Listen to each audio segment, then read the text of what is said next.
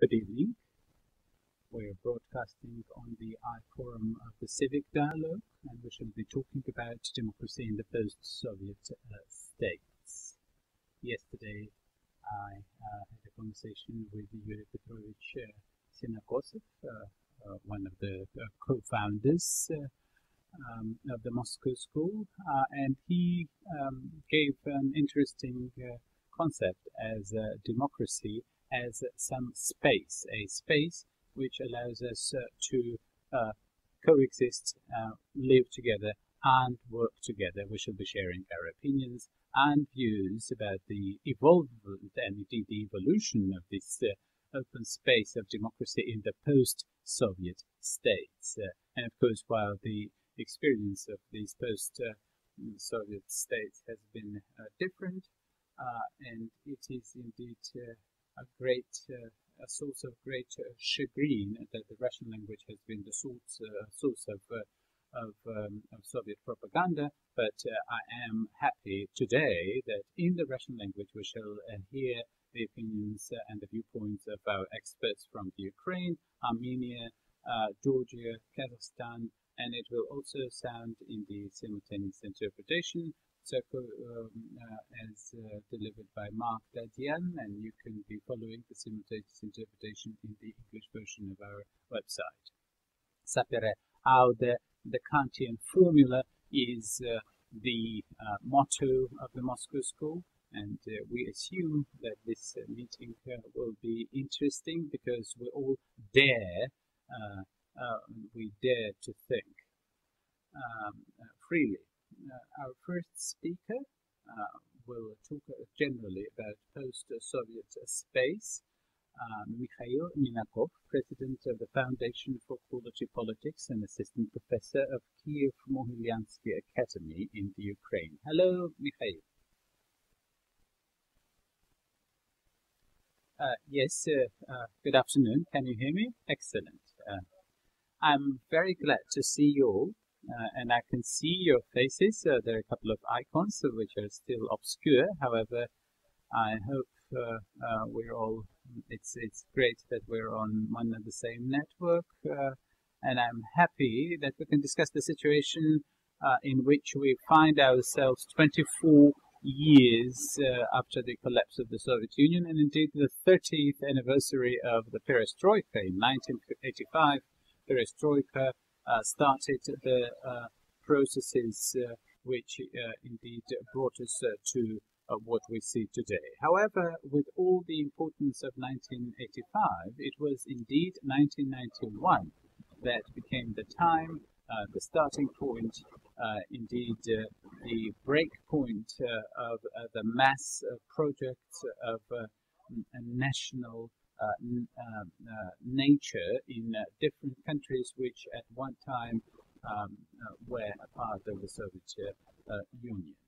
And in different um, parts of this ex-country, uh, we could see that the so-called uh, industrial modern modernity was uh, supplanted with the nightmare of unpredictability in the beginning, it seemed that uh, uh, the greatest uh, political pro projects may start. However, the freedom of entrepreneurship was indeed supplanted uh, with oligarchy and uh, uh, democracy with with authoritarianism, and the dreams of modernization at the beginning of the 19th led to a world which was indeed uh, which is indeed being uh, strictly demodernized in 2014 and 2015.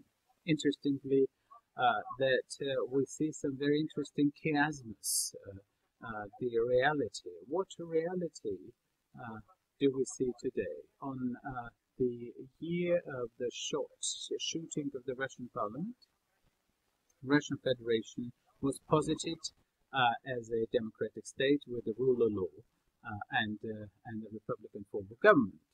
At the same time, uh, the Russian parliament was shot at. the freedoms of the of, of, a human and the human rights were perceived to be the highest ideal of of the Russian state. on uh, in the year when uh, oligarchy, and I'm now uh, quoting from the experience of the Ukraine of 1996, when the Ukraine was posited to be a country of democracy with the um, rule of law and the human rights. Uh, and uh, the well-being of the citizens of the Ukraine are believed to be the highest uh, value for the state. The state is responsible before people uh, and uh, uh, the state is responsible to safeguard the freedoms, liberties, and the well-being. let us take the example of the Republic of Kazakhstan, which uh, indeed acknowledges uh, the value of the human life and the rights of a human being to be the supreme value. Uh, the rights and liberties of men are the highest value and indeed the objective uh, and the essence of the statehood, uh, which is uh, a quotation from the Belarus Constitution of 1994. These old beautiful phrases have indeed failed to become reality in most of these countries. None of these phrases, none of these stipulations uh, may uh, be uh, viewed as part of the economic and political reality today. However, these and in, in uh, philosophy, we call this uh, an illocutive uh, meaning. Uh, they were indeed uh, uh, manifesting the aspiration of the big groups or the elites to become modern. And noble phrases were to give the maintenance air for the grievances which were going uh, and become the reality in these uh, post-Soviet uh, states. So all of the main um, stipulations of the post-Soviet constitutions uh, of the um, beginning of the 1990s are fruits of political imagination and, uh, and, and an attempt to, to project the future.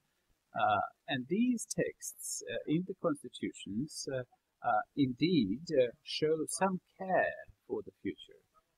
thus, we, the people of the Republic of Belarus, being responsible for the present and the future of Belarus, we, the people, the multinational people of the Russian Federation, uh, while uh, acknowledging our responsibility for this and the future um, generations. This uh, revolutionary novelty and a certain air of utopia were what constituted the legitimacy of the post-Soviet political projects. A new life in uh, the 15, uh, because it was believed to be just 15 regimes or 15 governments to spring on the uh, debris of the USSR, were to bring in something new, a dream uh, of becoming a, a new society, um, uh, getting up above and over uh, the old. However, 20 years later, uh, the novelty got supplanted uh, with a pessimistic myth.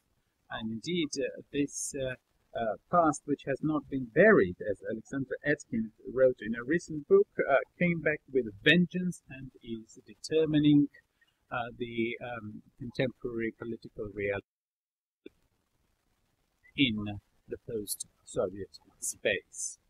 Uh, for the past uh, 20 years, we have lived in a world which was, in a way, a laboratory of history. We have been experimenting with political regimes, uh, imagining ourselves uh, how a capitalism and a democracy should be like. And this post-Soviet uh, idea or post-Soviet chimera of what capitalism and democracy are were born, uh, generated in a very strange, whimsical um, fruits. indeed, the late Soviet modernity um, predetermined such of these attitudes, some of these, and the collapse or the breakup uh, of the Soviet Union led to a situation when the Soviet Union got multiplied in a fantastical way and the expectations of democracy, the experiments uh, with politics and uh, the economy uh, brought to a situation started to recreate the different uh, attitudes and the different dimensions of the Soviet reality, in, in which means that the Soviet Union, far from uh, dying, uh, acquired a new life. in many different forms. And the Soviet regime in Belarus, there is a regime in Transnistria, uh, and uh, what can you uh, talk about Abkhazia? What is happening in South Ossetia? What is happening in Nagorno in the mountainous Karabakh? There are spaces and pieces of space, pieces of territories where this post-Soviet experiment is especially um, radical. Probably today, the most uh, terrible experiments are taking place on the territories of the so-called Donetsk and uh, and uh, Lugansk uh, People's Republics. Most unexpected categories and most unexpected attitudes um, mar the reality and lead to terrible tragedies. The breakup of the Soviet Union allowed the newly emergent republics uh, to uh, launch their own political projects. And as we remember, the constitutional framework uh, allowed uh, for this liberal or national liberal ideas uh, of launching the market democracy, where the um, private property rights are um, guarded, and there is this social um, the social um, security of uh, the later Soviet uh, times uh, should also or should have also been kept.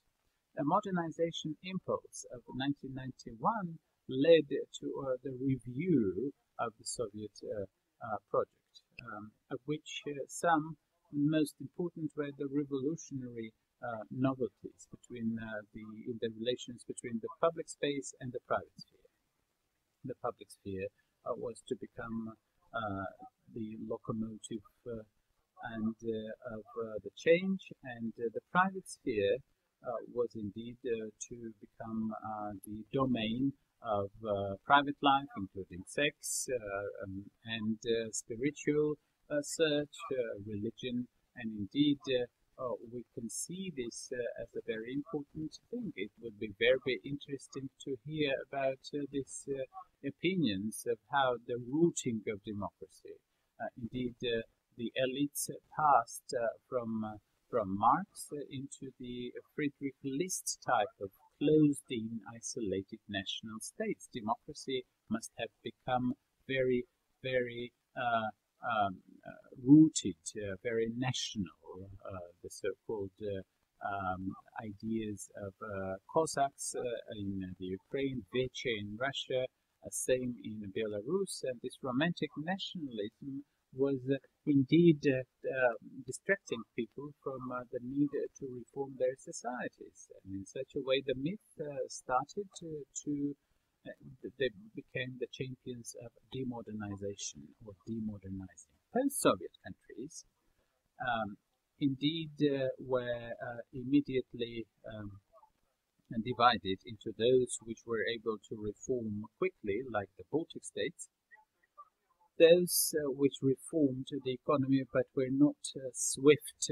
to um, modernize the political system, like Russia and the Ukraine, and finally uh, those countries which were very quick to stop the reform, like Belarus and uh, and um, some of the Central Asian countries. In this sense, uh, Belarus became uh, the flagship of such demodernizing or demodernization. And Uh, the Belarus nationalists uh, of the beginning uh, mm, of the 90s, the populist with the neo-Soviet rhetoric uh, brought uh, to the fore Mr. Uh, Lukashenko, who was originally viewed as a as a whim of the Soviet province. however, and that this would have been indeed washed away in the next elections. However, um, Mr. Lukashenko's uh, projects and uh, his, uh, his political maneuvers led to an entirely different reality. And indeed, uh, uh, we're talking about elites uh, which try to not to to to, to avoid formalization of their rule or the rules of the game. Indeed, uh, the decisions of the presidential administration are not to be debated. The logic of this institution was indeed uh, continued in the uh, subsequent in the subsequent um, style of the so-called vertical of, of, authority. And indeed, we were seeing the uh, emergence uh, of uh, almost feudal uh, relationships. Moving across uh, the post-Soviet uh, Uh, cities uh, and uh, towns, we indeed saw the erosion of the principles of a constitutional republic and the um, the division of power uh, or the system of checks and balances, uh, which was indeed being eroded by these uh, interesting ramifications of authoritarianism.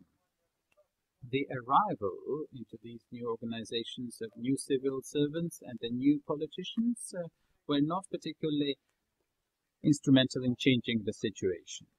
Uh, thus, uh, uh, we were talking about while there was a no state ideology, mm, we could see that such as Svetlana Paryechina, who was speaking about the ideology of Belarus, it is that uh, ideology for a state is the same as an immune system for an organism. If the immunity gets weaker, uh, then indeed any infection becomes lethal. Uh, and if ideology gets eroded, uh, then uh, any um, external or internal factor may uh, indeed uh, lead to the dissolution of the state. I think that Mr. Putin may have well repeated these words, and we can see many leaders, even in Kiev, uh, ready to repeat this. So uh, we can see uh, these uh, generalized uh, statements, and uh, indeed this is becoming more and more important for the um, new regimes.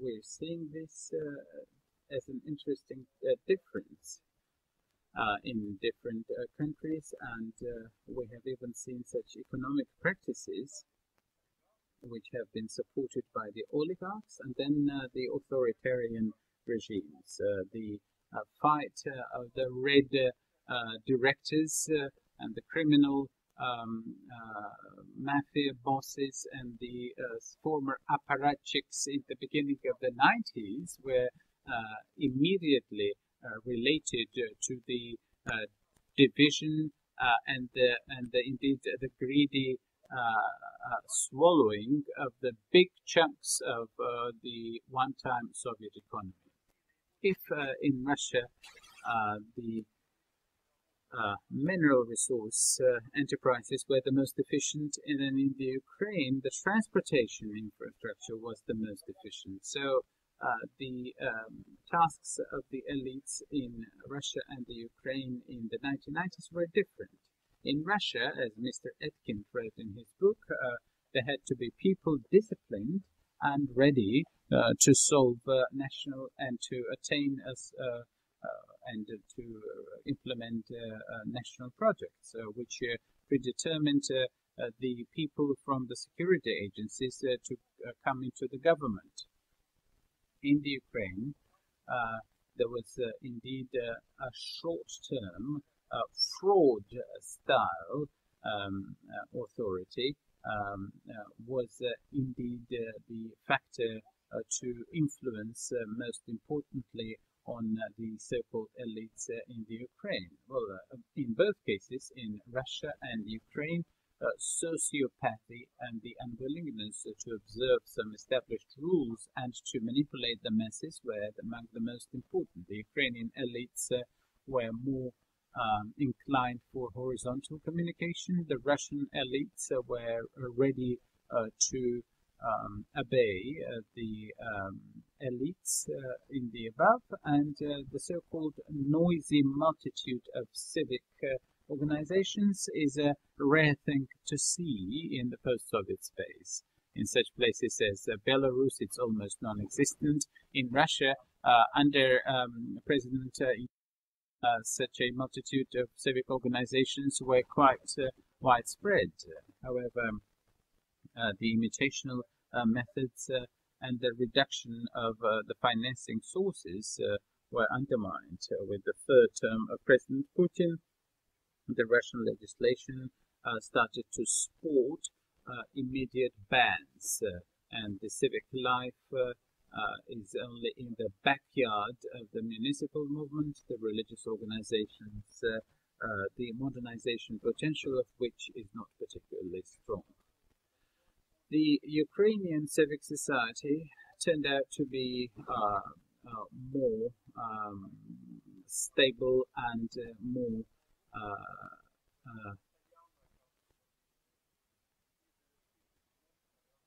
impulsive uh, and instrumental. However, uh, the Ukrainians have gone through uh, two cycles of crisis in 2004 um, when uh, the oligarchies, the oligarchs brought to an authoritarian regime uh, which accumulated the terrible mistakes. Uh, the revolution um, washed away the old regime. The Democrats came with the some promises, and again it led to authoritarianism. And at least this is the experience of the Ukraine. But being a part of the vertical of authority, the local self-government uh, it is still subjugated to the center. Both in Minsk, uh, in Moscow, and in Kiev, we can see uh, how the, say, in the Ukraine, starting from 2009, the Council of uh, Ministers uh, is uh, um, indeed establishing the local budgets, but it is not in a position to continue uh, or to verify the needs. Thus, in this way, we're seeing this uh, um, Simon Kordonsky uh, patron and vassal relations between the majority and the minority uh, territories in the Ukraine, and with the, all the potential of self-government and municipal self-government systems, uh, we are seeing uh, critical times and the dire straits of the so-called internal and collective immigration. Towards uh, the second decade uh, of the 21st century, we are seeing societies in the post-Soviet space established and based on personal relations within the elites. Uh, the private property uh, is extremely weak um, in terms of its security, and the Ukrainian elites have not been able to build a reliable democracy. Uh, the Russian elites have been able uh, to get uh, used uh, um, uh, and uh, the so-called Euromaidan led did not lead to any strong um, transit of democracy and indeed the democratic motivation which led uh, to the beginning of the Ukrainian revolution were indeed uh, supplanted with the motives of the so-called collective uh, uh survival. Uh, the uh, Russian intervention and the civil war in the Ukraine gradually and very strongly led to a strong decline in the support of the democratic transit and indeed uh, we can see that the tendencies uh, for democracy will be uh, indeed uh, uh arrested. Uh, I think that in 2014, the authoritarian regimes have won a great victory, and indeed the Moscow is the great lawmaker uh, in terms uh, of uh, very strange uh, um, control and the comic lawmaking in Russia is a symbol of demodernization.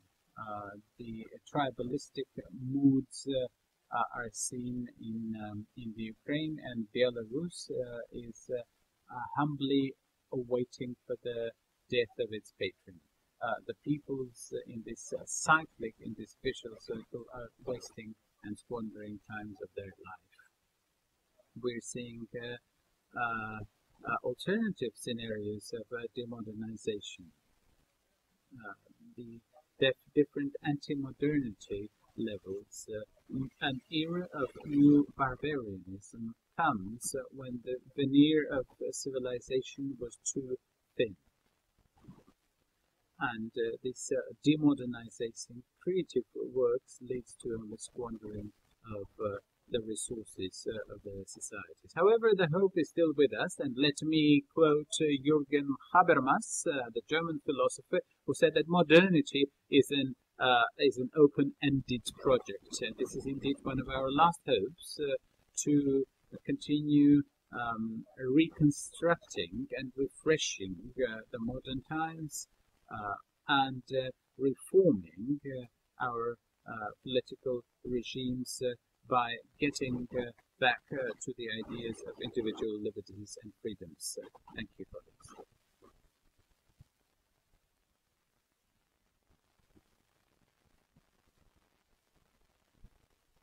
We will uh, only pass to the questions uh, later if we have time, but we shall now uh, uh ask, uh, we, we, shall be talking with our Georgian colleagues by uh, colleagues. let us now pass to Armenia, Mr. Armen Zakarian, Director of the Armenian School of Political Studies, and Mr. Alexander Iskandarian, Director of the Caucasus Institute in Armenia.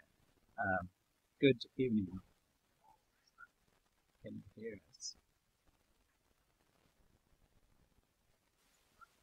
Uh, good evening. Um, first of all, let us uh, thank the Moscow School for this initiative.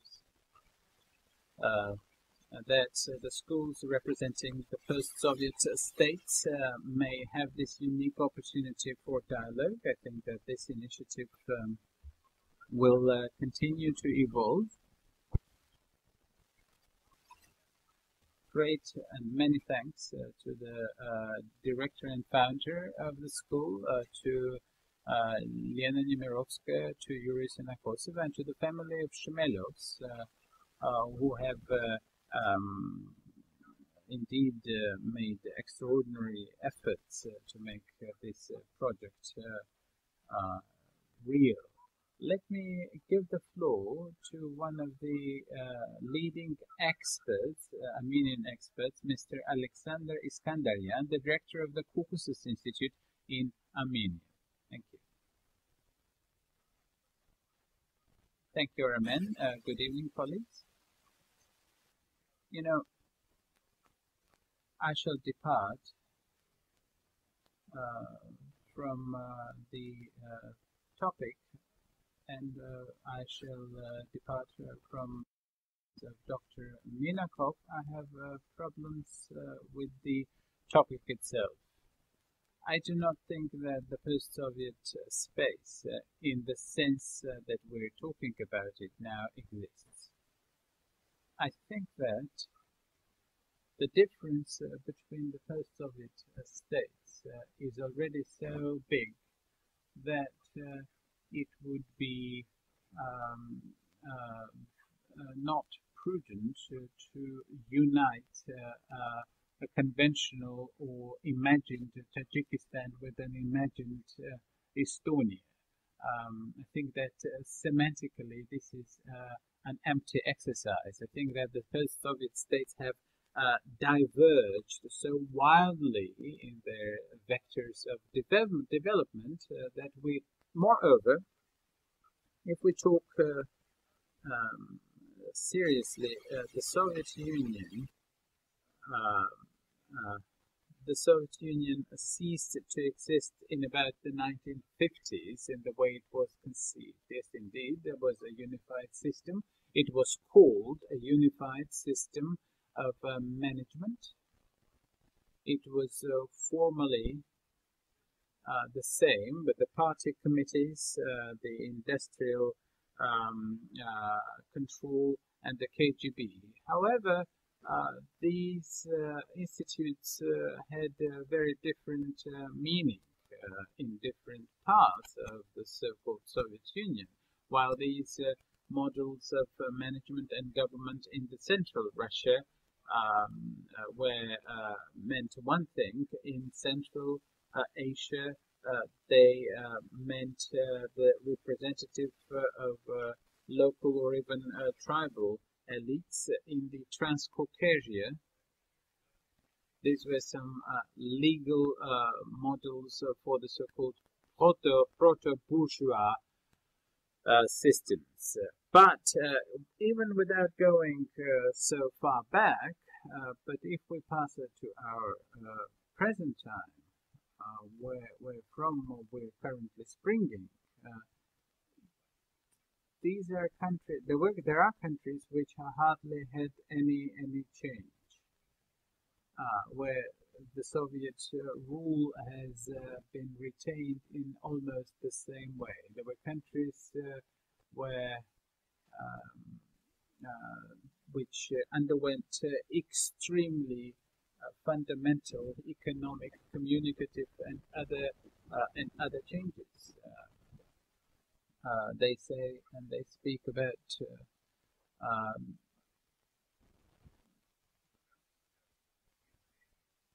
some uh, unity.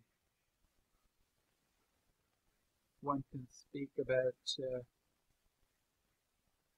uh, the uh, relations between Lithuania and Poland, uh, then between, say, Lithuania and Kyrgyzstan. In this sense, the the um, Soviet space is indeed not what we may think about it. Yes, indeed, we're all post-Soviet, uh, but uh, in the same way as all the Mediterranean cultures are, are post-Roman. After this preamble, let me pass on to, to the issues of Armenia. Armenia, as any, as any other country, has some peculiarities um, in terms of the history of its historical uh, path, uh, starting from the beginning of the 1990s.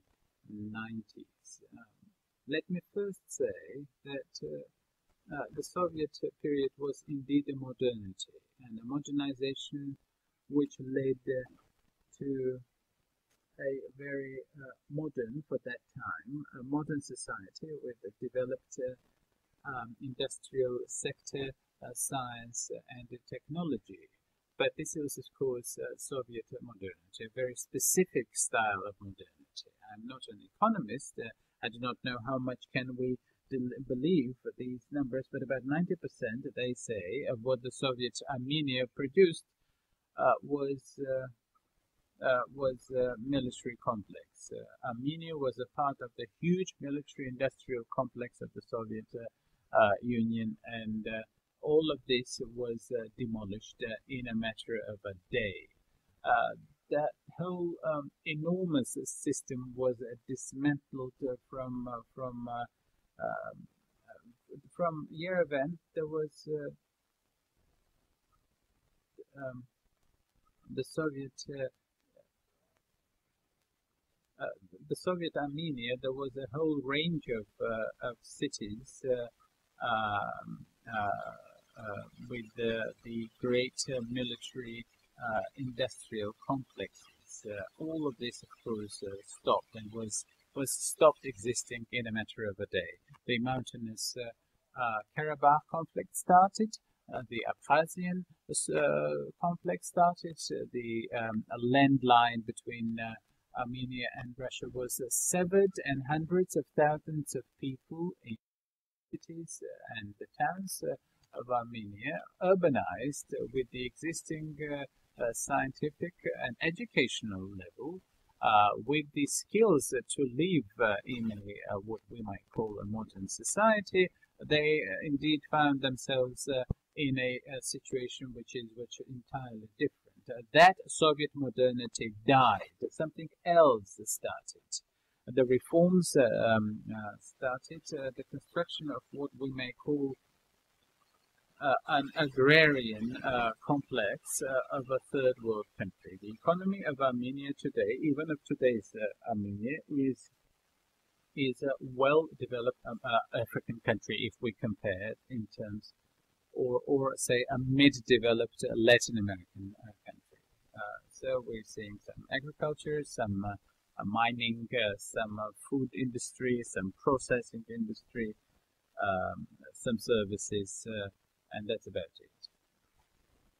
Even those uh, uh, um, modern uh, um, spheres such as diamond making and high tech are developing not in the Belgian but more of an Indian style. This uh, disparity between uh, the highly urbanized, highly educational mass of people in Armenia and the actual reality um, of that country um, creates some uh, very uh, striking paradoxes. Um, the birth rate is about uh, two persons per family, uh, and the population of the country is generally well educated. about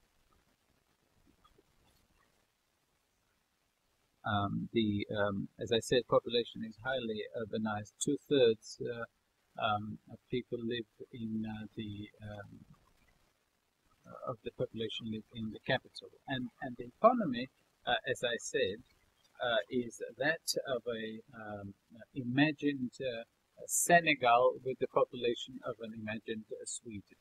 Against that back background, uh, we're seeing the war, which was indeed started. Armenia uh, stopped in its uh, uh, development of a statehood and political system with the Karabakh War. Um, formally speaking, this was an external war with relation to Armenia because it was uh, raging between the self-proclaimed mountainous Karabakh Republic and Azerbaijan. However, um, for the um, Armenian uh, uh, society, uh, this war uh, was a major factor of the past uh, and continues to be one of the major factors of the past 25 years. On the one side, this was a, a point of consolidation of the society uh, around these ideas, um, the ideas of national liberation, or, and on the other hand, this was a matter of uh, of uh, making Armenia an encampment. Uh, the army in Armenia was born before the state. Many of the structures in today's Armenia were indeed um, coming from what we may call today the civil society. The reforms, very liberal reforms, were a way to survive. Which was indeed uh, one of the uh, unique examples when uh, non-centralized but liberal reforms were conducted. thanks be to God, we do not have oil and we do not have major mineral wealth. And for Armenia to survive, um, it must have earned a dollar. Um, the Armenians, indeed, to survive, had to Uh, to uh, make a uh, make a, make a, uh, cent. Uh, so there can be no Soviet Union where there is the small and mid-sized business. Indeed, this mid uh, size uh, and small size business was developing in Armenia uh, from the very grassroots levels because people had to survive. having developed uh, it uh, became uh, very typical for the post-Soviet states where business and politics came together into a sort of a, a compliance of an oligarchy. And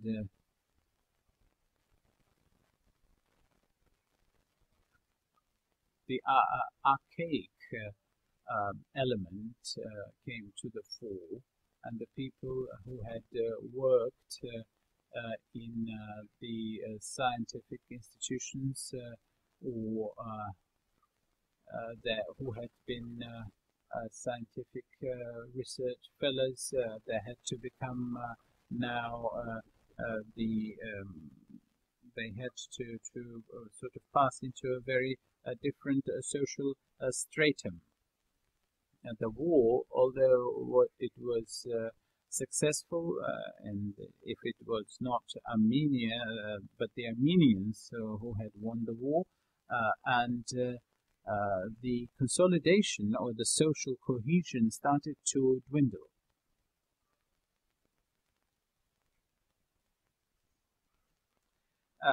the demand, the social demand for the further development of democracy uh, led to a striking contrast, uh, which we're seeing uh, uh in all of the uh, so-called Southern Caucasus or the former Transcaucasia, because uh, this part of the Southern Caucasus can be viewed as one and the same region, even only probably if an observer is somewhere on the moon we, the uh, Transcaucasian countries, uh, are very much different. Uh, and uh, these uh, economic hardships, uh, the economic difficulties, which led led to the development of nostalgia for the Soviet times. In Armenia, uh, they led to a somewhat different view. The gradual uh, rotation of government. Uh, presidents do change uh, in, in, in Armenia, faces uh, change, rotation takes place, but the society does not accept this it does not accept politicians and it does not accept politics as something legitimate. Uh, the uh, general uh, uh attitude of plague on your houses uh, is extremely common in Armenia. People view politics as something which is extremely removed from their lives, uh, and the models um, a, a good word for this. I think that um, Dr. Minakov said that uh, very properly. Uh, the imagined, the imagined. One has to imagine um, your political reality. And the democracy in that uh, geographical region from which I speak, uh, uh, uh, democracy is taking root here for the first time in history the experience of uh, the First Armenian Republic in 1918 and 1920, uh, the models of the 1918 uh, can hardly be taken into account seriously today. It just uh, was in existence uh, for only two uh, years. But the reference can hardly go there because very few political traditions have stayed. So this was the Soviet Union. Um, um, before that, it was the, the Russian Empire, the Persian Empire, uh, the Sublime Porte, uh, the, the Empire, the Byzantine Empire, the Assyrian Empire, and all the way down into the uh, nooks and crannies uh, of uh, history a very ancient history. So it is indeed a, a very, very new thing in Armenia that we are seeing uh, today. And uh, we can see that uh, there's some new forms and uh, formats uh, which are being uh, viewed and filled in with content which may be alien to the Western democracies. But as I said, people are generally full of apathy. And uh, the voice uh, of these, the voices of these people, unfortunately, are quite easy to uh, buy. Not necessarily in the direct way of such as paying uh, uh, people. No, this could be by, say, uh, indirect services, um, such as building the road or trying to explain uh, that uh, uh, the teachers will get uh, a bonus. people are being taken to the ballot box not in ideological but rather in very pragmatic way. Well, people in the in the former um, Soviet uh, uh, some of the former Soviet republics, uh, it really does not matter how people vote. Uh, but in Armenia, the situation is somewhat different because their vote has a certain importance. Uh, but on the other hand,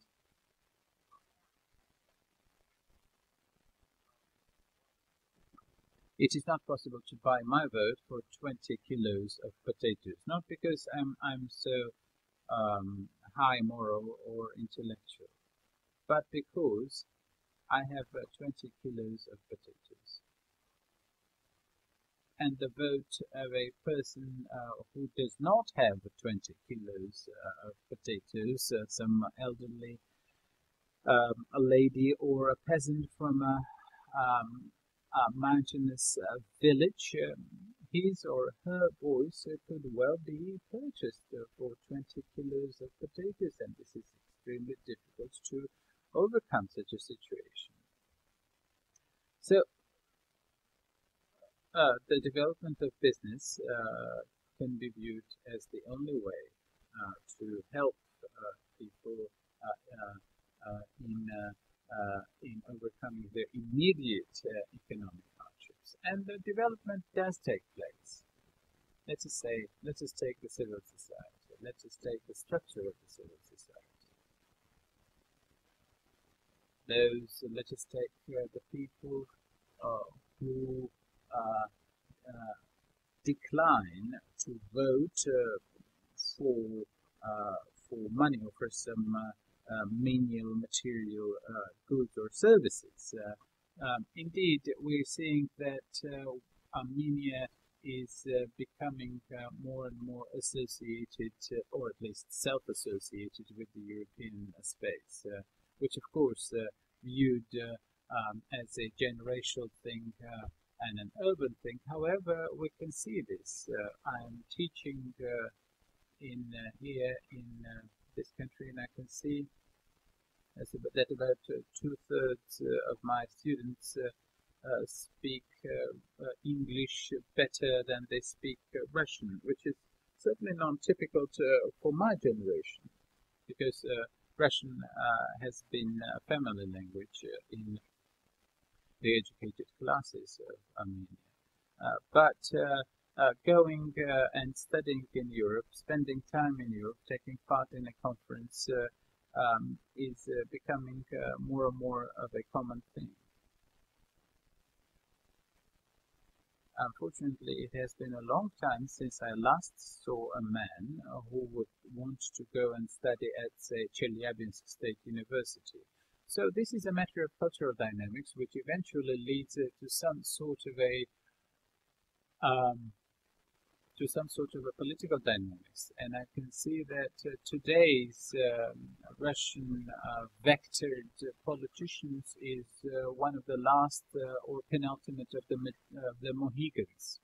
And uh, the um, sort of uh, younger generation of politicians in Armenia are people of a post-Soviet era. They are people who view the world in a different way, at least uh, on the uh, level of uh, ideology. If um, the ideas uh, of uh, democratic transit uh, um, have not been rooted, however, in terms of ideology, they have well been um, appropriated. And indeed, uh, there's hardly anybody in Russia who would say today that democracy is bad. Indeed, democracy is not an act, it is a culture.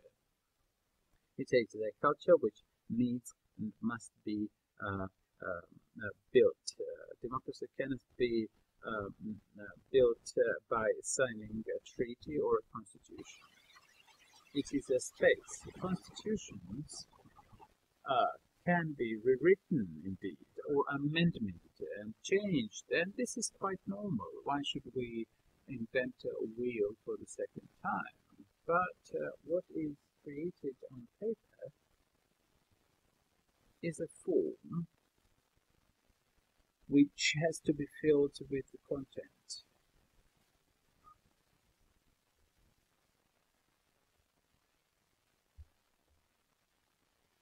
Uh, and uh, this process is unfolding in Armenia. It is uh, developing um, in a in fits and starts, but as a political scientist, I think that this uh, process of democratic transit is uh, uh, uh is uh, changing uh, and developing. I think that in historical terms, we have only seen a fraction of time. So I think that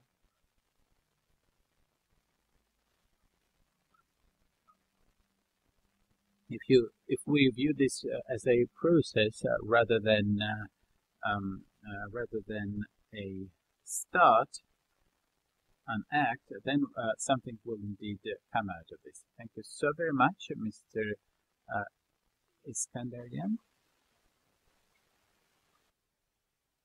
we shall leave the questions for later.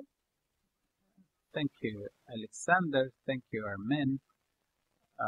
Thank you for saying that there is no um, mm, a united uh, space, uh, and even though you said in the beginning that uh, uh we, we do not live in, in a unified space, so it says, however, your subsequent uh, um, uh, intervention showed us differently.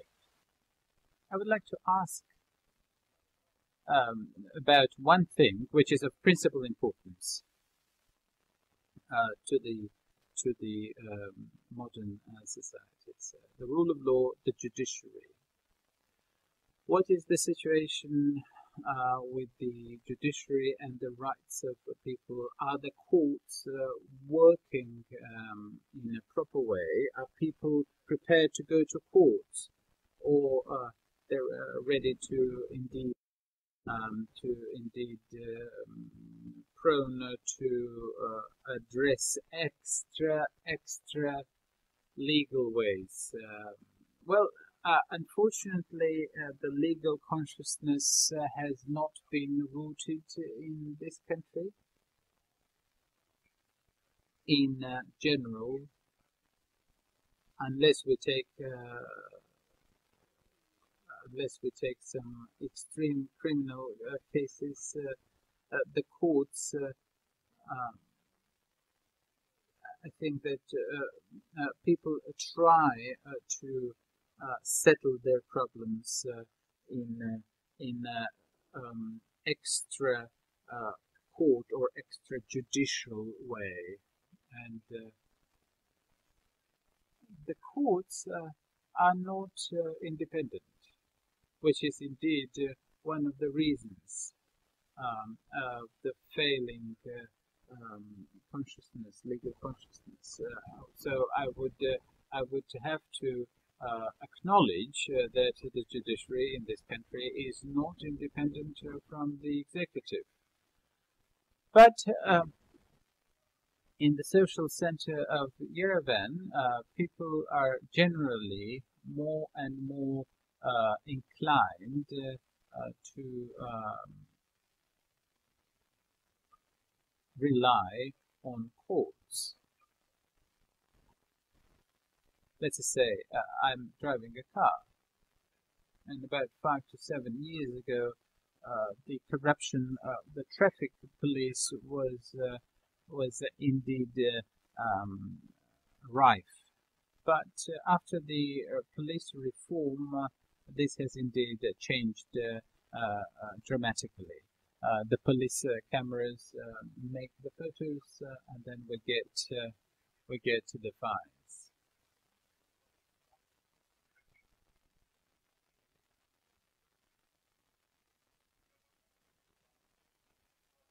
So I can get uh, a passport uh, three uh, weeks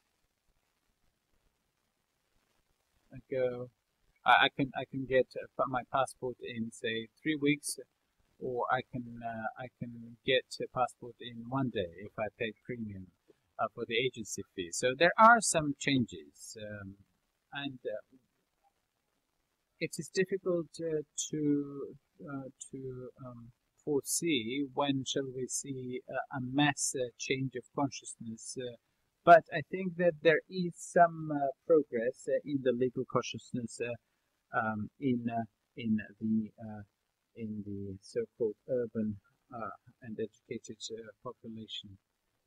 And we shall now pass uh, on to Belarus. Mr. Ales Mikhalevich, Doctor of Political Science, the presidential candidate of the Republic of Belarus in the elections of 2010. Well, first, to agree with my colleague uh, from Armenia to the fact that um, that democracy is primarily a cultural thing. It is indeed a dimension of culture. Uh, Belarus uh, is not a country uh, uh Belarus is not a country which has uh, which is uh, democratic and there has long been a common phrase that Belarus is the last dictatorship in Europe. Uh, however, as we see today, uh, this phrase uh, almost uh, sank into oblivion even in the European uh, political rhetoric because Belarus is far from being the only problem with authoritarian regimes or far from being the only country where where there is a great um, authoritarian uh, tendency. And uh, uh, but that's not something that I wanted to to speak about in the first place.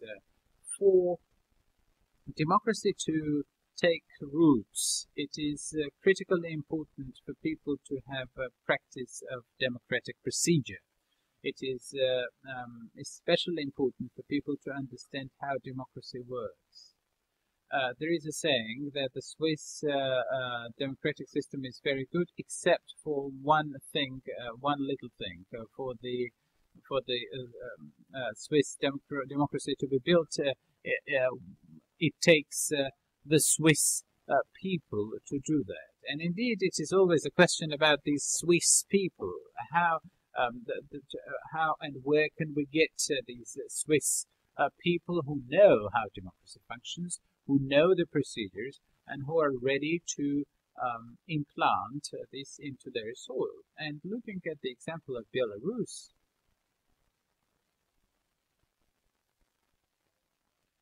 looking at uh, uh, the situation in Belarus, uh, uh, the uh, organizations of civic society, parties, political parties, and trade unions we can see that uh, the practice of um, local self-government, of municipal councils, which uh, eventually uh, led to a situation where people knew what is democracy. Uh, that this uh, local self-government uh, system generally stopped um, working as such. and this inoculation of democracy um, is uh, pretty much gone from the social space. When we speak about the Belarusian uh, press and the mass media, we can see many. Uh, there, there is a saying, uh, a fight for democracy or a struggle for democracy. I think that uh, it is not possible to struggle for democracy. I think that a struggle for democracy is is indeed struggling for peace so ardently that uh, there will be uh, nothing uh, of the world left um, but ruins. democracy can only be expanded. it can only take take up more and more of our life. it can only be developing through education of people. How many times in our practice uh, in uh, Belarus, in Russia, and elsewhere have we encountered situation whereby uh, the political parties uh, the political parties uh, members uh, were ousted uh, for for criticizing the party bosses. How many times have we seen a situation when people, on the one side, being pro-democratic, who have accepted democracy, but um, have uh, never uh, took to mind uh, to exercise democracy in their uh, lives. And indeed, uh, we can see a, a, recreation of the Communist Party. we can see this in Belarus and in other countries. So what I would like to to say in uh, in conclusion is that uh, without uh, serious uh, serious internal expansion of the democratic practices, of the democratic procedures, without uh, teaching and educating people as to how this thing works, uh, how these mechanisms uh, work, we shall never come closer uh, to um, understanding um, uh, democracy. And uh, indeed, for this to work, um, I would like to remind you that Mr. Lukashenko came to power as a result of democratic elections. These were indeed the first and the last democratic elections uh, in uh, in the history of, of, contemporary Belarus Republic. In 1994, um, uh, the Mr. Lukashenko came to power, uh, who was very uh, quick uh, to build uh, one of the most uh, highly centralized authoritarian systems in uh, modern Europe. so to avoid to avoid a situation when as a result uh, we uh, bring uh, another director and indeed to avoid this recreation of authoritarianism uh, democratic practices and procedures have to be indeed uh, we woven into the tissue of social life. Without internal uh, democracy, without local self-government, without press, uh, trade unions and political parties, without building and developing a high political culture, which uh, presupposes uh, consensus, um, without all these uh, things, we would not be in a position uh, to uh, build. And without this,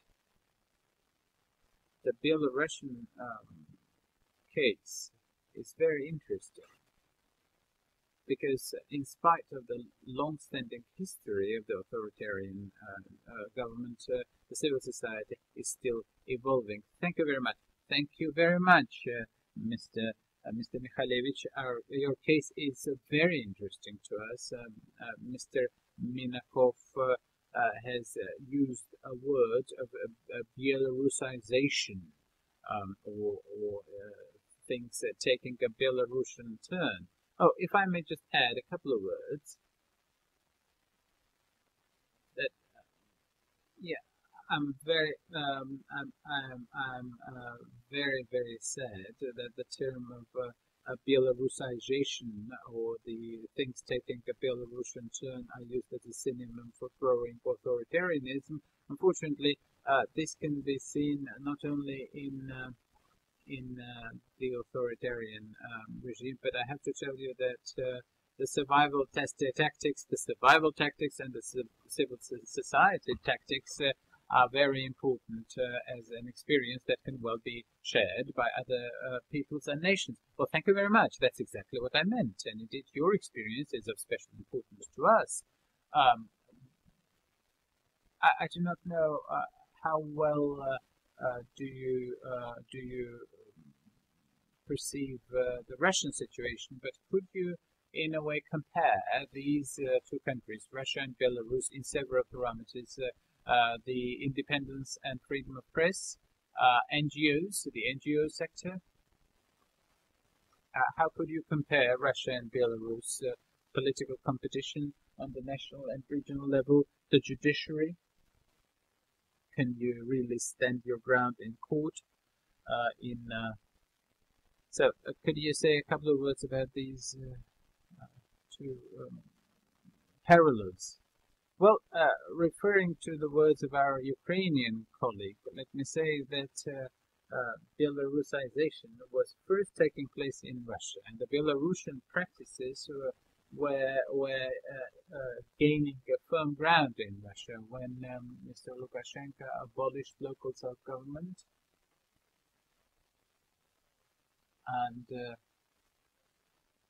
this was done in Russia uh, very soon. And the Belarusian practices uh, started to be imported into Russia. However, one of the key differences between the two countries has been formulated by uh, Mr. Bukovsky, uh, dissident Bukovsky, who said that in today's uh, Russia, as distinct from the Soviet uh, Union, it is easier to kill a person than to put him in jail. And in this sense, uh, Belarus is more Soviet in the sense that it is still easier to jail a person than to kill him. And in this sense, it is still uh, one of the key differences, uh, um, uh, which can also be seen in in in terms of um, of mass media and NGO sector and the judiciary.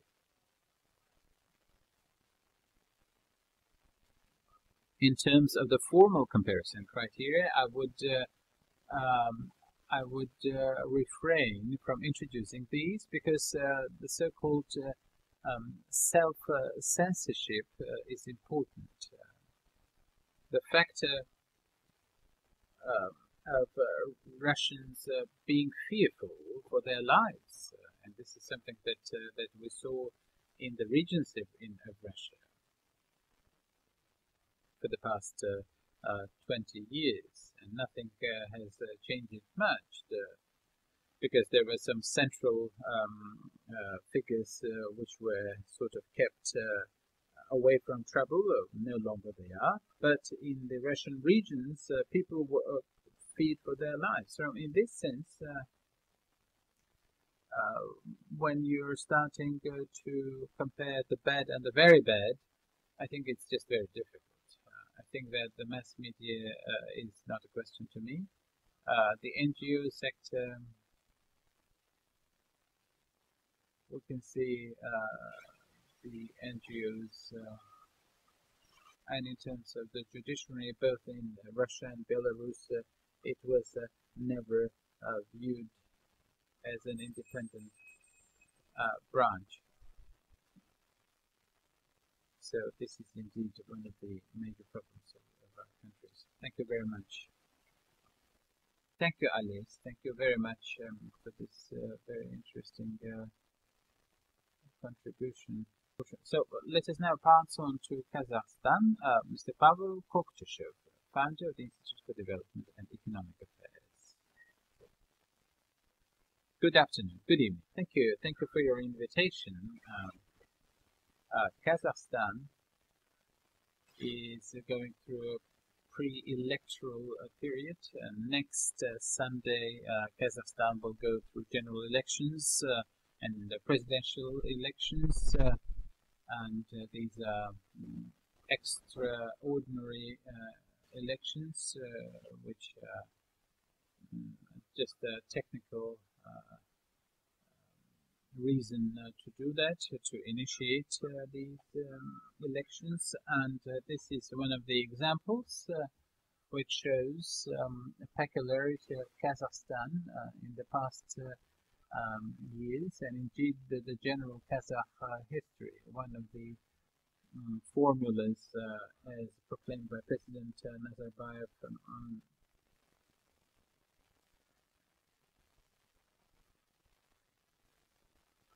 economics first, politics second.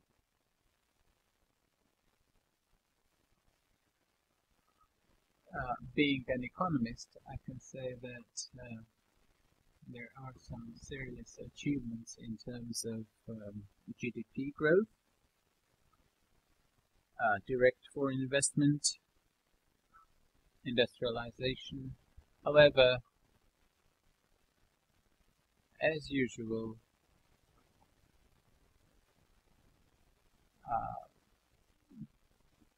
there are comparisons uh, to be made um, with um, the uh, coterminous countries, um, Uzbekistan, uh, Kyrgyzstan, and uh, unfortunately, uh, the, it would not be proper to um, draw such comparisons and conclusions. Uh, here I would like to support Alexander. The differences are quite uh, conspicuous.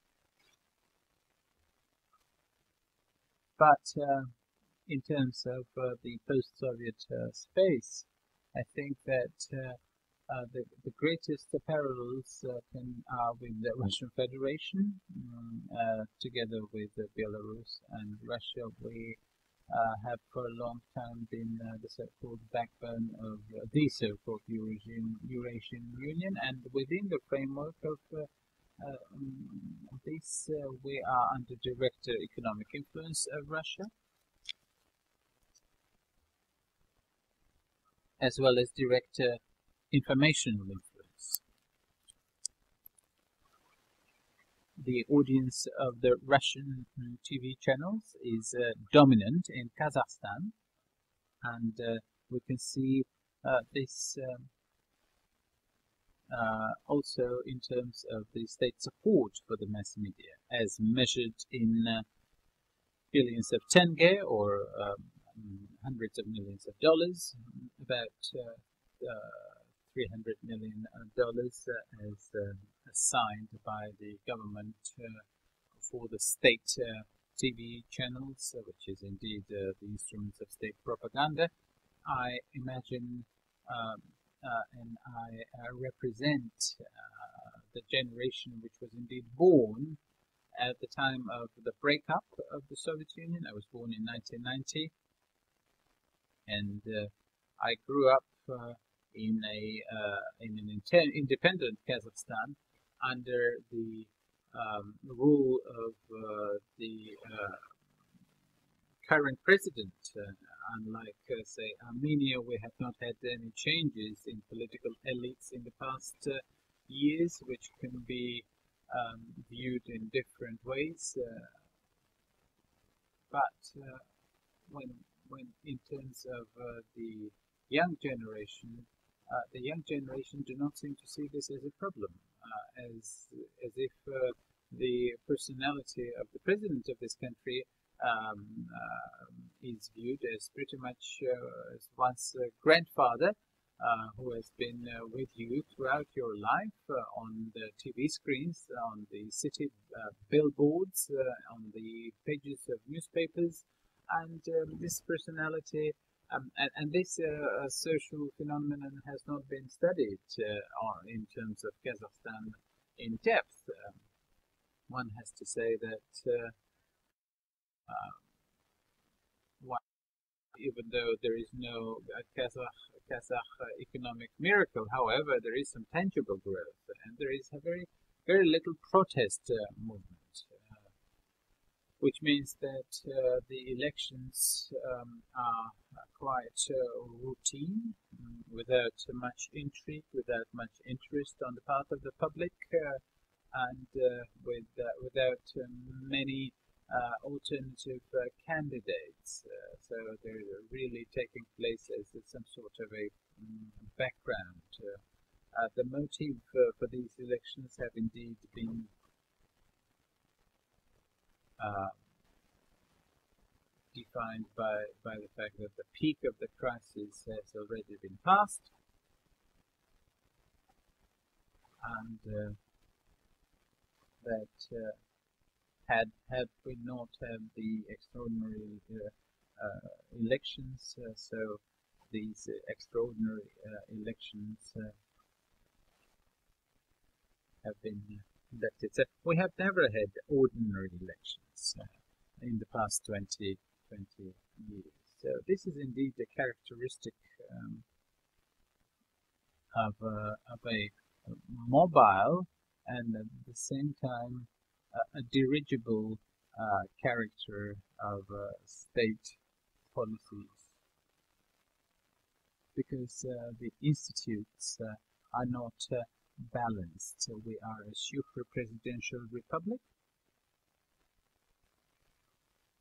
and we can see that uh, on the on on the example of many um, different uh, cases uh, that uh, the ministers uh, can well be uh, uh, shifted between uh, the different of like between oil and and regional management. So on the one hand, it's a rotation, but it's a rotation within a very narrow elite it does not seem we do not seem to have any political ambitions with the young generation.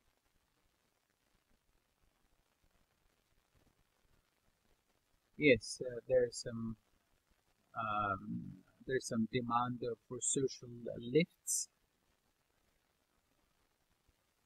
for the new uh, young and educated ambitious people to go up uh, in the social hierarchy. However, we do not see this uh, happening.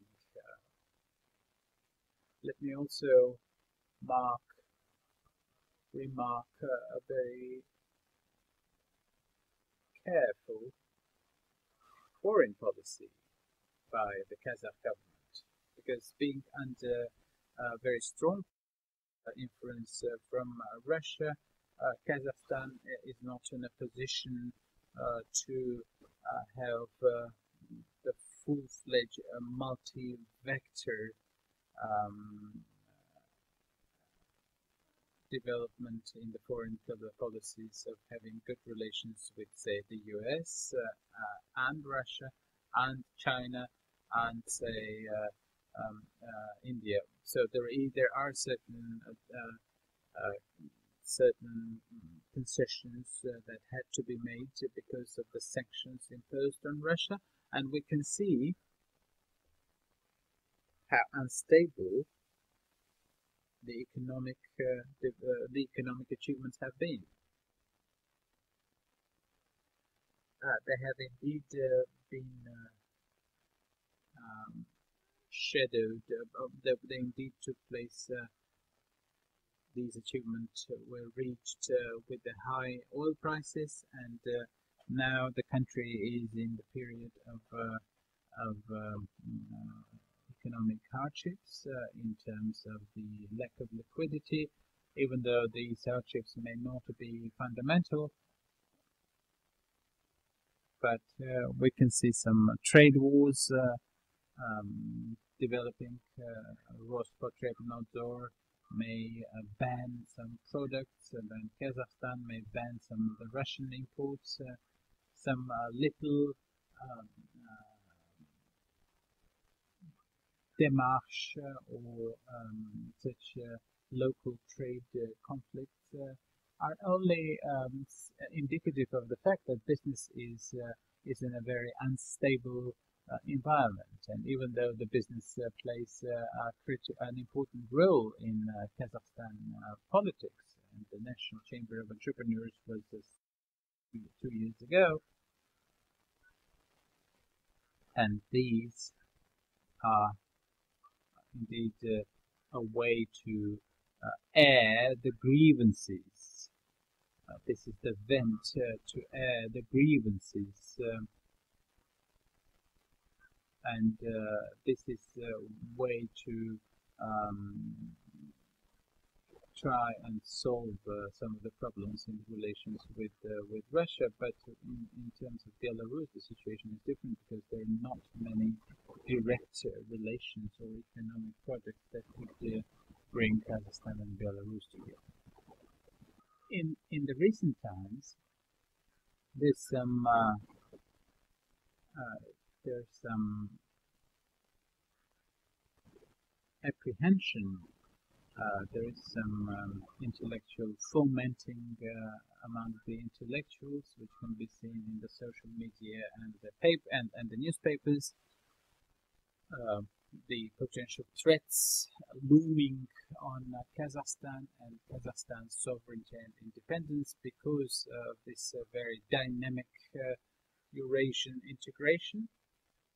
And this, in turn, in the past uh, year or two will become a basis for political activization. Because uh, if you see this as an uh, open political discussion then it has to start with something and uh, some uh, uh, some not very careful steps on the part of the Eurasian Commission,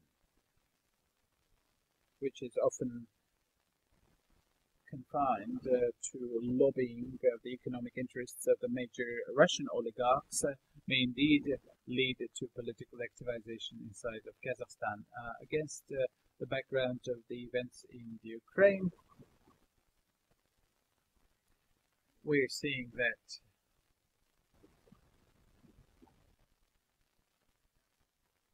uh, there's been an opinion that uh, Kazakhstan must must hear the consequences of uh, uh of the European uh, of the Ukrainian events. But about 70%, over 70% of those uh, sampled in the sociological polls are generally pro-Russian and uh, and quite radical um, towards uh, the already against the the position of the Kiev government. With this said, there's some uh, resonant uh, legal cases, court cases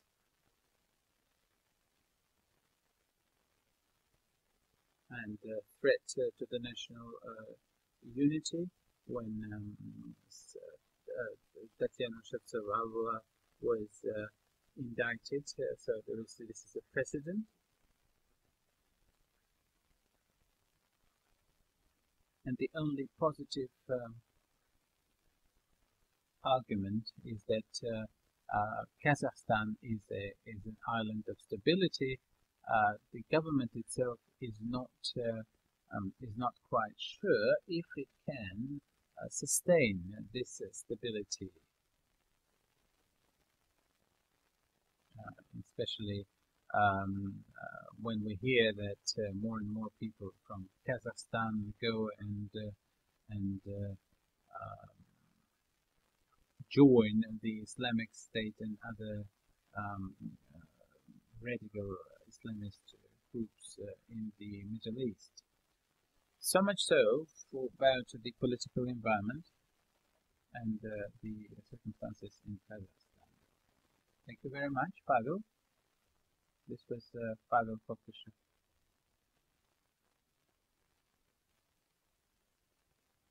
was Pavel Koklyshev, uh, founder of the Institute for Development and Economic Affairs from Kazakhstan. A very short question.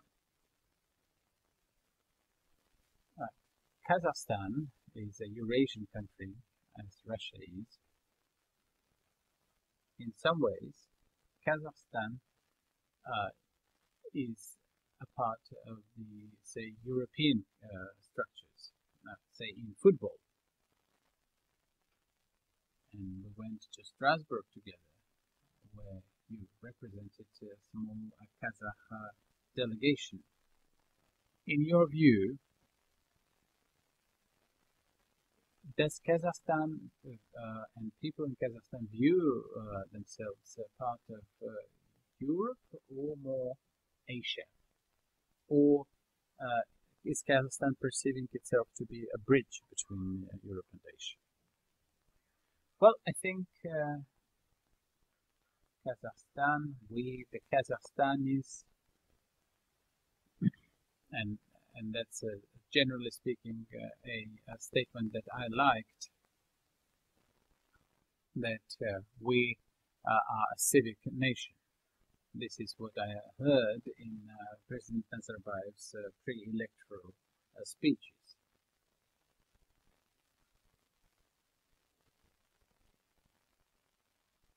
At the same time, we have a big stratum of young people who studied abroad uh, there was a big uh, program. Over 10,000 uh, people have studied in the best foreign international schools sponsored by the state. And uh, generally speaking, uh, the view is that uh, it's a more of a pro-Western trend, which is uh, being seen in Kazakhstan. And when we give uh, our assessments and evaluate this, this is more of a um, Kazakhstan today is a liberal economy, a market economy. It strives uh, to be a better place. There are some economic strategies. And there's some uh, World Bank criteria. So th there is more of a pragmatic approach. So a desire to become um, a strong economy and a pro-Western uh, uh, tendencies are quite conspicuous in uh, today's uh, Kazakhstan. We shall now pass on uh, to Kyrgyzia, Kyrgyzstan, Elmira Nogoybayeva, Head of Analytical Center Polis Asia from Kyrgyzstan. Elmira? Hello. Uh, I'm from uh, Kyrgyzstan. Um, uh, I would like to say a couple of words about uh, Central Asia because what is happening in Kyrgyzstan can be uh, viewed uh, um, in comparison uh, and across the Central Asian region. In Central Asia, Central Asia as as a region, we can only view it as such outside of Central Asia itself Inside this region, we do not know much about each other and the countries uh, which we border. And we represent quite different political systems. Turkmenistan, for instance, is uh, celebrating the 20th um, anniversary of its neutrality. On the 22nd of March, Uzbekistan held presidential elections. And on the 26th of April, we shall have presidential elections in Kazakhstan. In both countries, the presidents have been in power pretty much from the very beginning of the statehood of these nations, almost for almost a quarter of a century. And uh, what I would like to do uh, is uh, uh, is uh, to refer to Mr. Minakov's words about the Soviet modernity. You might remember the great mega project of the Soviet uh, of the Soviet period about the all Soviet electric electricity system. Herbert Wells, Wells did not believe the plans of Vladimir Lenin, but he was shocked to, see, very much impressed to see these uh, uh, mega um, construction sites across the Soviet Union.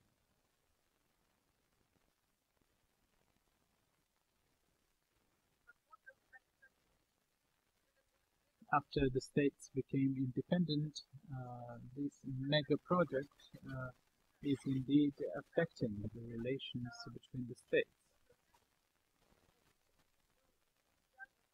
That process was uh, primarily united with the spirit of cooperation, and the breakup of the Soviet Union led to very deep ruptures, including the ruptures in infrastructure, and we feel the terrible consequences of these ruptures until today.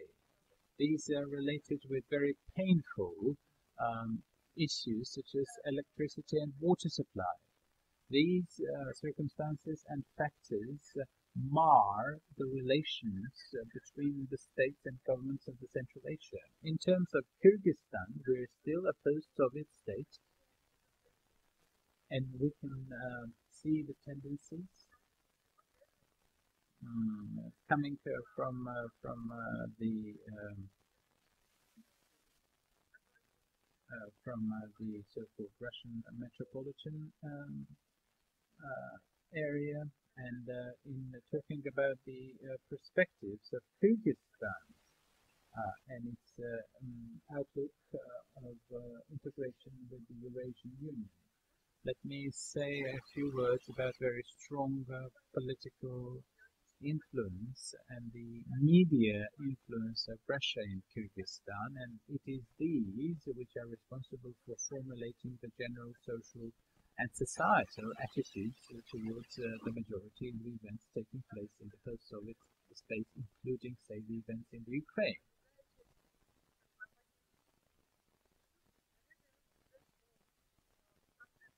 In addition to this, uh, the uh, processes of de-Sovietization have uh, now been uh, substituted with the processes of re-Sovietization. or Soviet uh, um, renaissance, uh, recolonization of the Central Asian region, including Kyrgyzstan. I think that uh, there have been no elections in Kyrgyzstan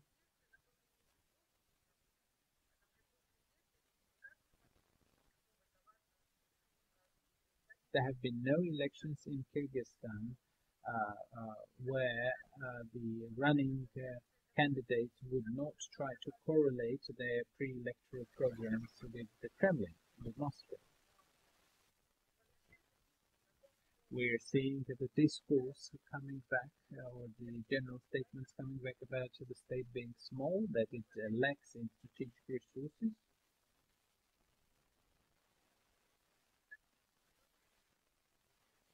And indeed, Russia is viewed as uh, the great flagship uh, uh, in uh, the wake of which Kyrgyzstan um, must follow, at least um, in there is a tendency to the so-called vertical of uh, authority. And even though Kyrgyzstan is a parliamentary republic, there are many initiatives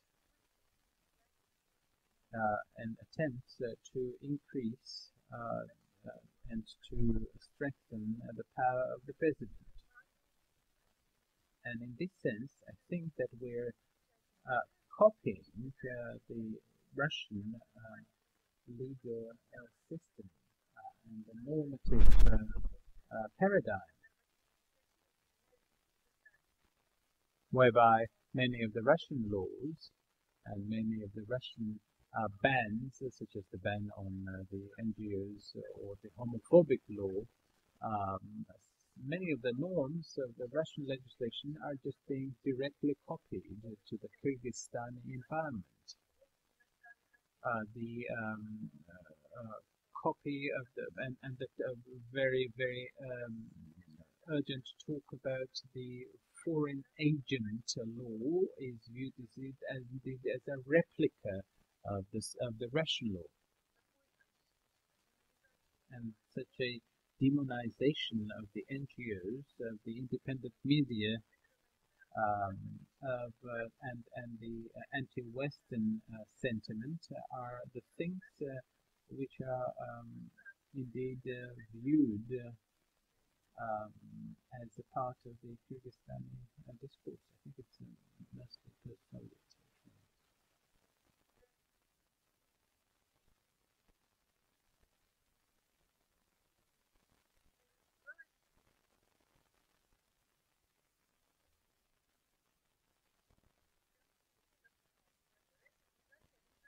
So we're seeing some tendencies of re-Sovietization.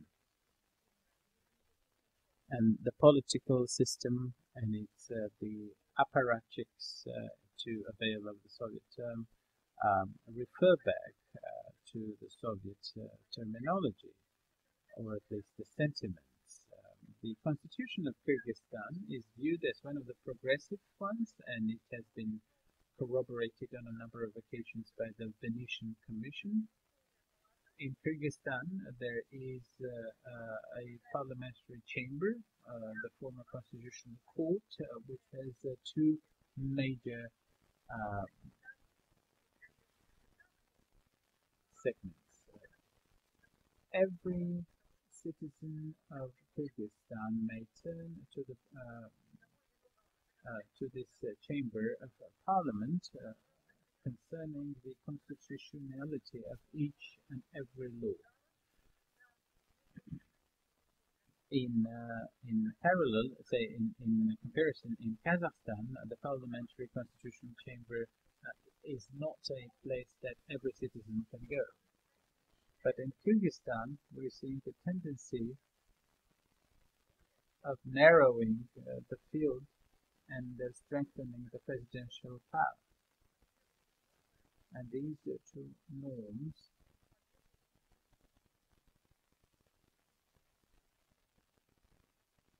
may well be seen.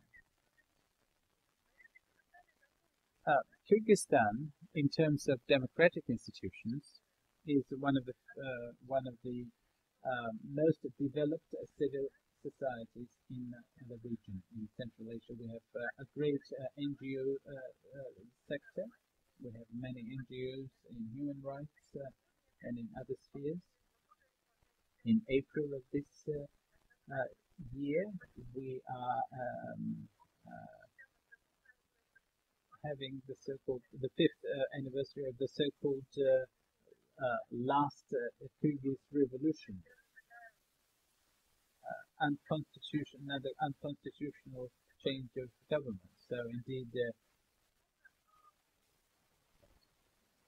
there have been risks because uh, the protest uh, attitudes are going up uh, um, related uh, to the growth in, um, in uh, prices, the uncertainty of the accession to the Eurasian Union, polarization of the political discourse, it is no secret that apart uh, from the Eurasian um, Economic Union, there are many organizations which are trying uh, to advocate the ideas of, uh, of Eurasianism and uh, the so-called Russian world or Ruski Mir uh, society is quite detrimental uh, to the concept of uh, the Russian world itself because we're seeing quite a terrifying substitution of, uh, of true things with ideology, whereas uh, the actual uh, Russian culture and Russian language space in Kyrgyzstan is indeed shrinking. And the buffoons of the Ruski Mir are indeed uh, trying to uh, reanimate um, the, some of the communist sentiments uh, at the expense and indeed to the detriment of the space of the true and genuine Russian culture and language.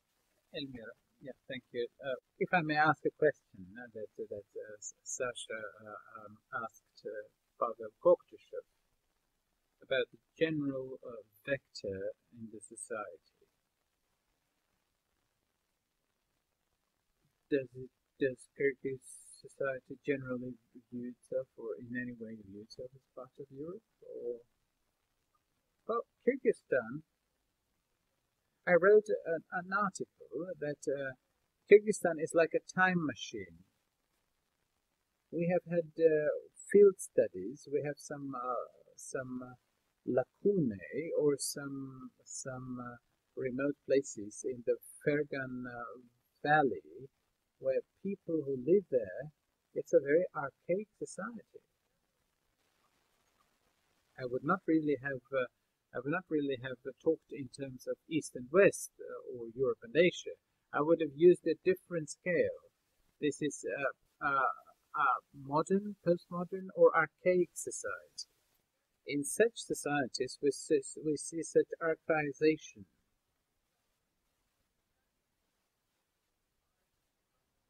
And uh, if we look at uh, big cities, there's some very advanced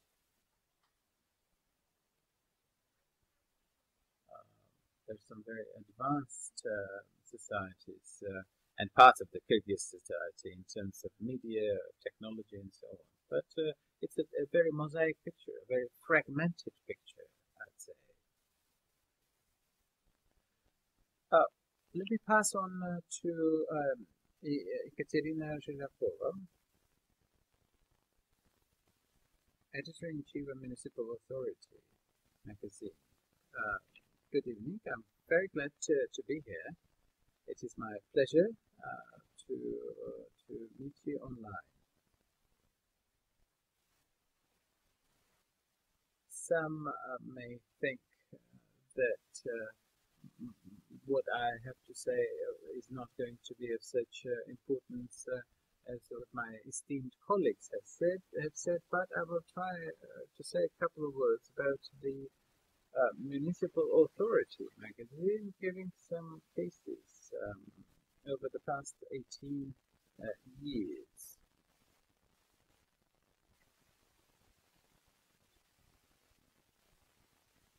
At the Moscow School, I have often spoken as an optimist, uh, and I generally think uh, what uh, that what uh, the, the um, regional or provincial life uh, shows uh, to us in Russia prompts us that civic initiative is not that is not that bad in, in Russia, and if this civic local initiative is allowed to grow and flourish, it will and would increase uh, and improve uh, the quality of life in the Russian regions and municipalities. However, what I would uh, like to do is to uh, bring a quotation before uh, and prior to every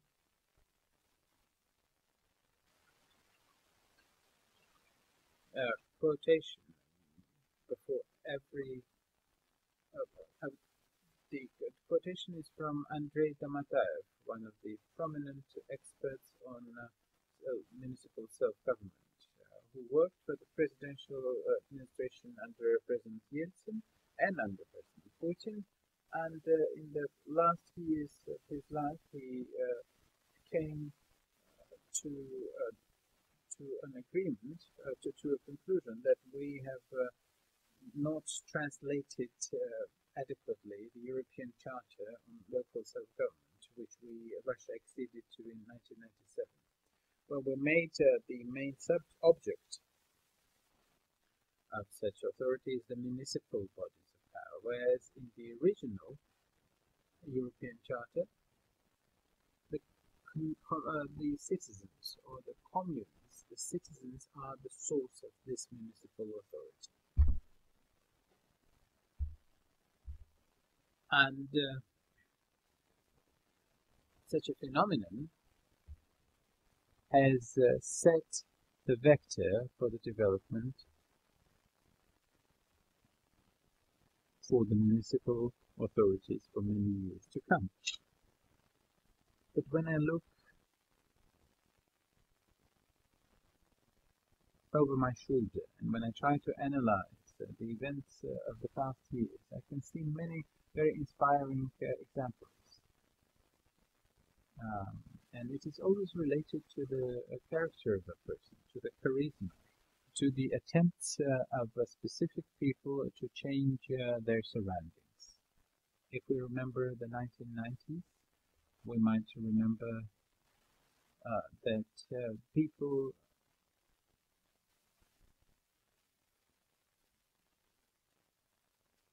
may remember the Chernorechye uh, village in Orenburg region or Kamarge in Mordovia.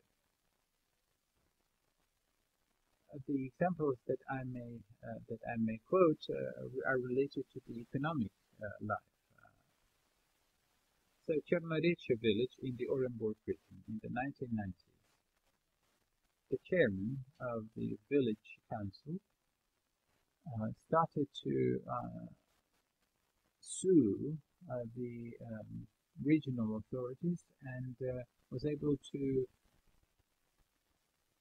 get paid back uh, with the taxes that had been levied. So he went through many um, court uh, proceedings and he was able to stand his ground and the court upheld his uh, um, his uh, plea. Unlike many other places uh, in Russia, which were quite unsuccessful in trying to uh, um, litigate, uh, was able to stand their ground and to get compensated for the taxes levied, which indeed changed the life in the village.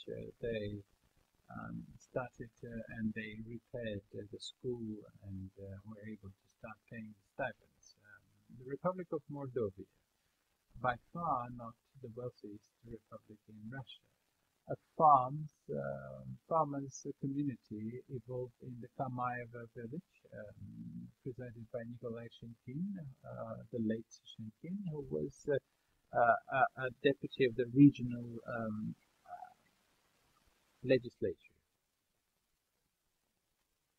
They had a very strong farmers uh, community. Well, they did not have uh, much of a conflict, uh, but uh, they were able to stand uh, for their interests uh, and they were able to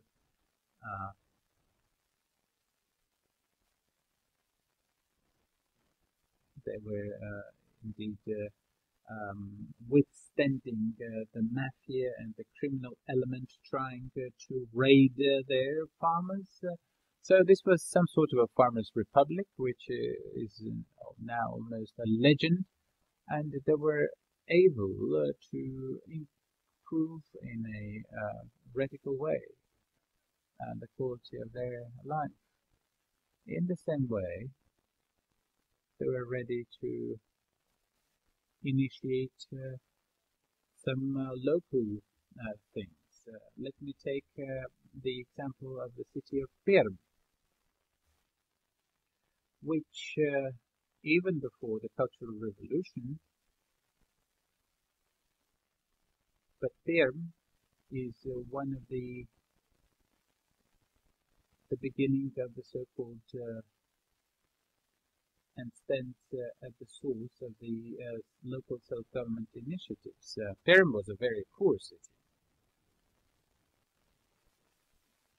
And uh, the um, citizens in the city of Perm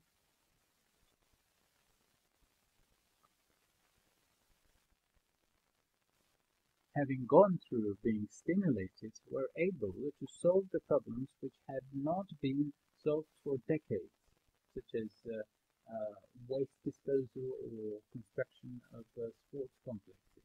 And when the mayor's city of Perm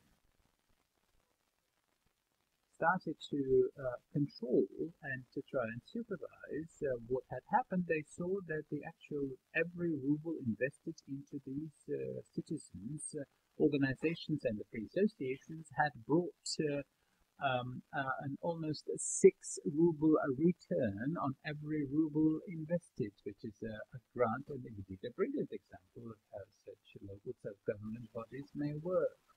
Perm became one of the sources of uh, local, regional, and uh, provincial um, um, uh, initiatives, uh, which had then uh, been taken to other 11 um, federal districts say in the Volga area, which indeed had started in Perm. One of the interesting examples uh, was uh, the work of Gleb Tyurin in uh, the Archangel region, who was one of the graduates of the Moscow School and who was instrumental in saving the dying villages uh, through his energy and inspiration. He would come uh, to uh, the uh, village which was dying, he would inspire the locals, and in those places where uh, indeed a village was bound to die, um, he was able uh, to um, to revive it to life. Uh, in some cases, the villages uh, were becoming uh, tourist centers. in some cases, I remember mm, one of the great examples when where a, a village did not have uh, uh, a water tower. So they indeed uh, they revived their, their village just solving the problem for 50,000 rubles, whereas the contractors were asking for a million. Uh, our city, the, the town, the, the, town of Myshkin in the Yaroslavl um, uh, region, were able to um, make uh, Myshkin uh, into a, a remarkable uh, landmark And uh, thanks uh, to the initiatives of these uh, enthusiasts, the strategy of the town of Myshkin was developed as uh, supported by the major urbanists uh, of, uh, of Russia and the urban scholars. thanks to this initiative, the town of Myshkin um, acquired the major grants, became a tourist um, uh, objective uh, and increased its revenues to the budget 10 times, increased uh, the flow of tourists from several thousand to almost 200,000 people a year, which was all provenant uh, from uh, the ideas uh, of that one bright man, Mr. Glichukin another uh, case also related to tourism.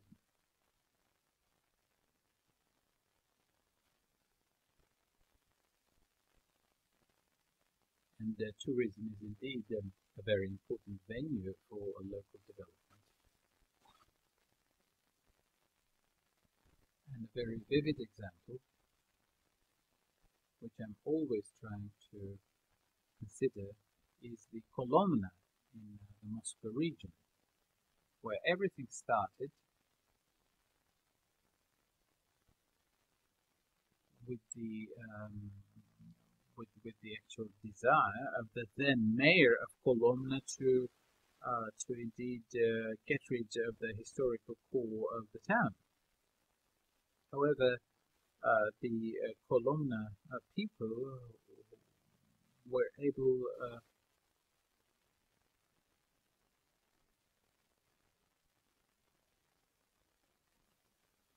create a museum complex.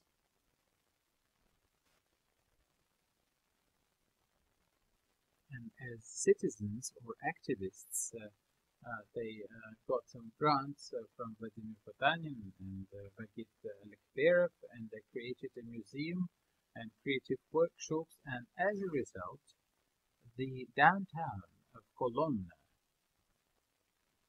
where the historical buildings must have been demolished uh, at the decree of the of the previous mayor, uh, they now own this, these buildings, and this is indeed the home for the museum complex of Kolomna, which is um, known across the country, which is uh, indeed a tourist mecca for the for the coterminous uh, regions.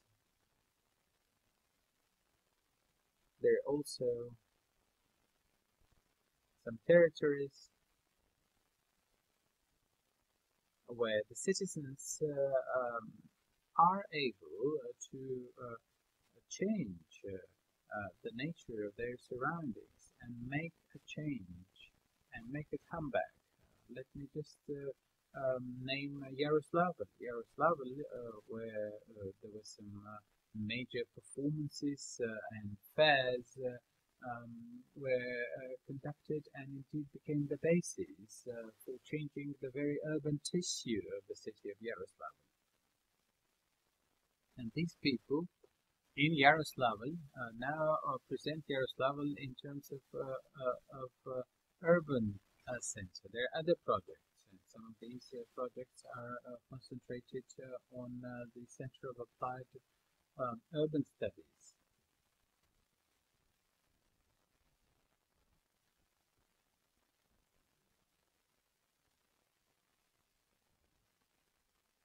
And uh, here we're trying to accumulate the experience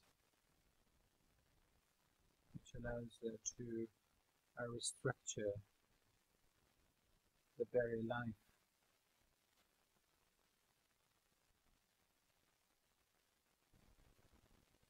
In uh, in the in the localities, the towns and cities well, we don't have I don't have much time, and uh, what I would like to uh, conclude with uh, is to say a few words about elections. We know uh, that uh, those who are interested in the history of local self-government, there is a new stage that we're entering, uh, whereby the regions have been allowed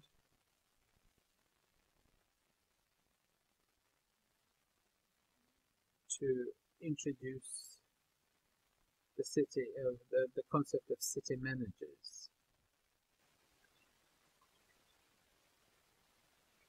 And this is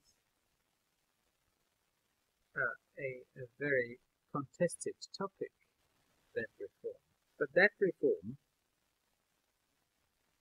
was uh, conducted in spring of last year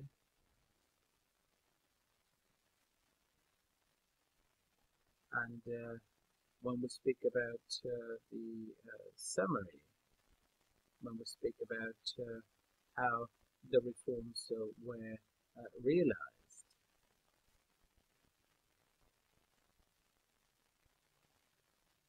and in both cases, such freedoms and authorities were passed to the city managers. If we try to differentiate between these, it would be quite uh, interesting to see that the elections, uh, the direct elections, were only retained in those places where the government was strong, where the so-called uh, common European values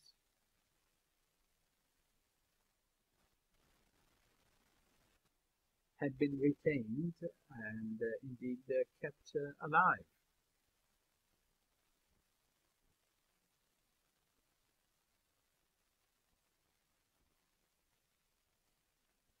And it happened so that these people were standing their ground and they now have more freedoms because of this uh, uh, um, uh, office of city manager. So I think that this was generally a very inspirational, uh, uh, a very inspirational uh, approach from the standpoint of local self-government. So these are the examples I wanted to share with you. And uh, I think that the conclusions uh, can be different and they're evident that uh, such a popular local creative work and initiative on the grassroots level will eventually make it uh, make itself heard.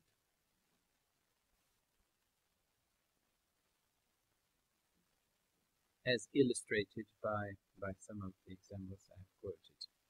Well, I think that um, uh, this was interesting uh, because uh, it is difficult to speak about democracy in Russia, but she was able to find a case um, which was able to, to find a case uh, where democracy is at work. So even in uh, in uh, the absence of political competition or uh, some uh, civic stance, uh, this is possible and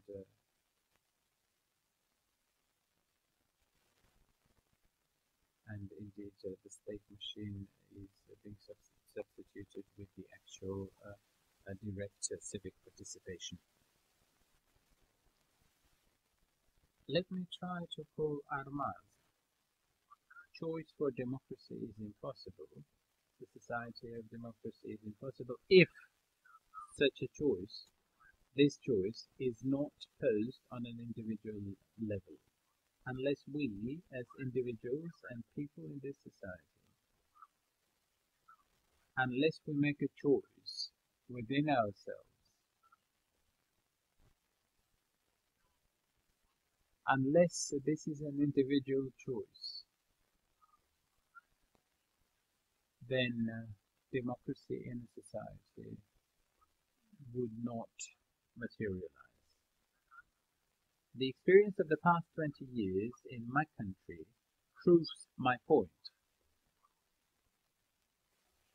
What we see in the society and uh, in uh, the so-called uh, um, establishment, uh, this uh, duplicity uh, is what we see a, an important um, peculiarity of most of the post-Soviet space. Because talk uh, democracy talk uh, and talking about democracy seems to be very popular and uh, and uh, fashionable. But uh, what we see is that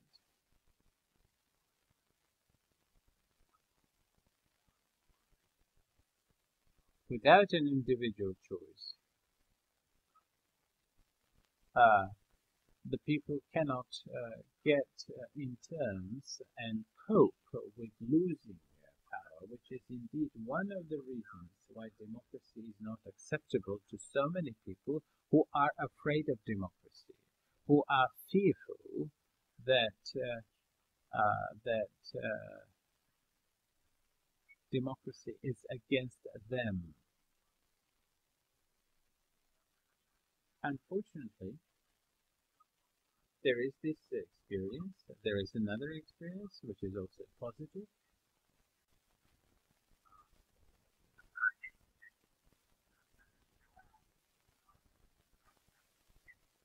I don't have uh, time or indeed uh, the opportunity to analyze the political development uh, of uh, Georgia in the past 20 years. This is beyond the scope of this uh, telephone conversation, but if we speak about the major consequences, you will see that on the one side,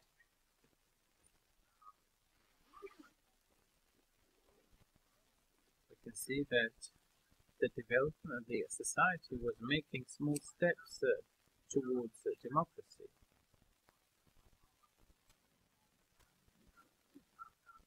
But uh, very few people in the societies, or relatively small number of people, understood uh, that this is something that people have to struggle for. This is something that people have to participate. That nobody will make democracy work.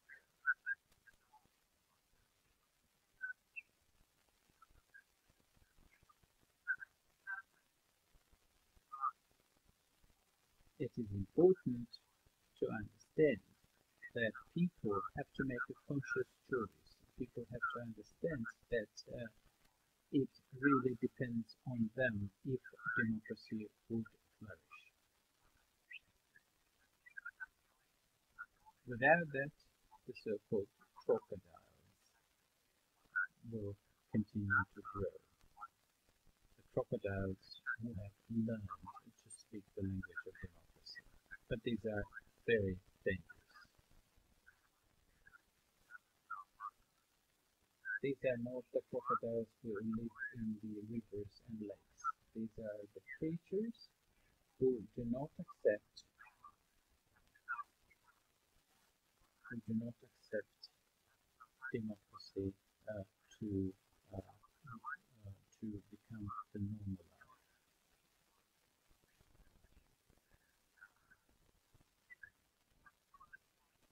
to summarize,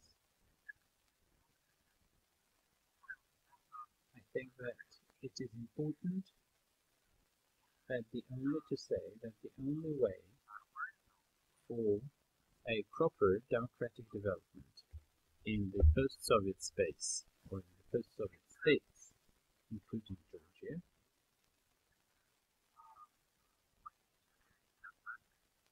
is on the one side the political and democratic culture, and indeed the formation of democratic culture, which is only possible through education, through enlightenment, and multiplication of the number of democrats. And indeed, democracy is not possible without democracy.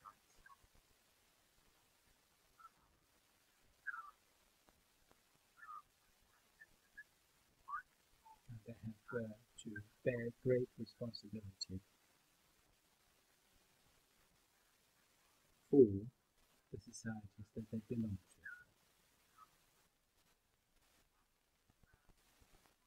This is a choice for struggle for democracy to the bitter end. there is no other choice uh, for the people in the post-Soviet uh, space, including Georgia.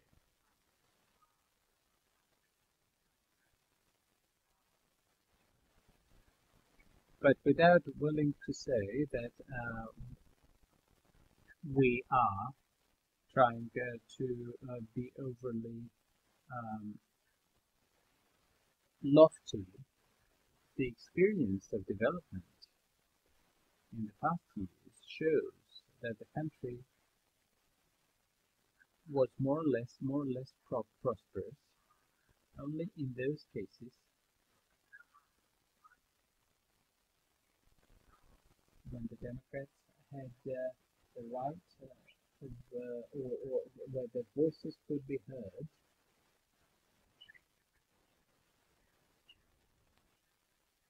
the more Democrats there are in society, the more chances there are that the society would continue to develop in a democratic way.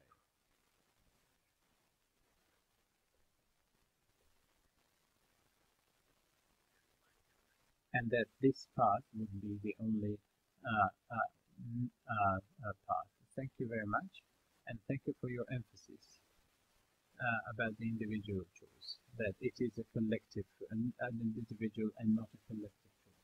I can only agree with you. I cannot agree more. And indeed, this is an individual choice that has to be made every day.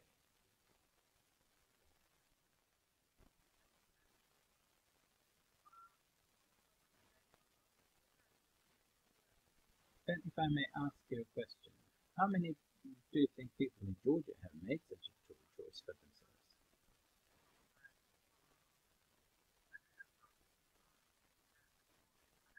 I think that among those who participate in the political life in my country,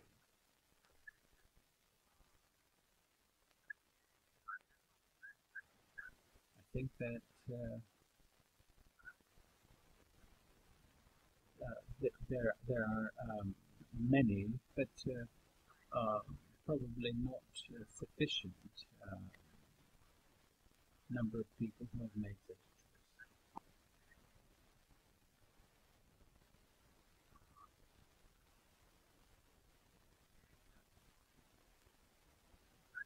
So we're talking about the people who vote.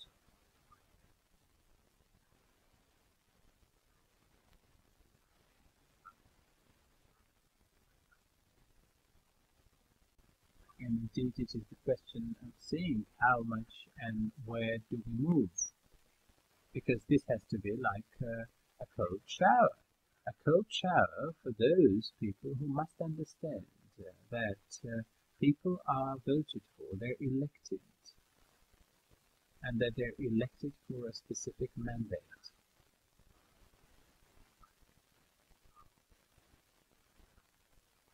so indeed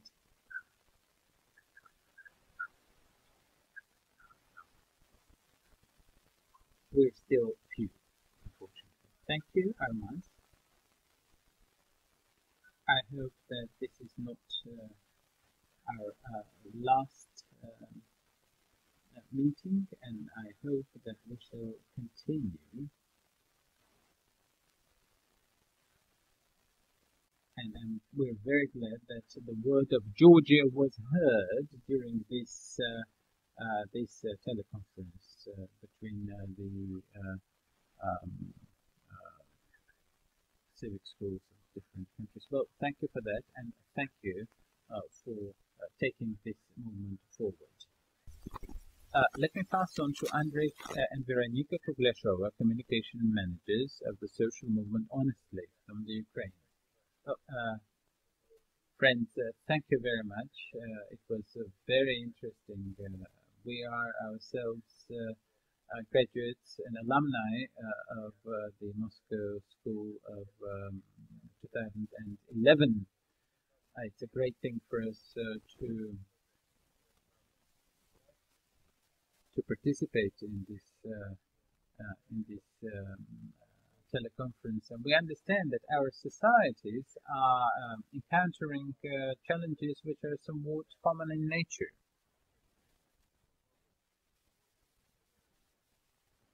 the political practices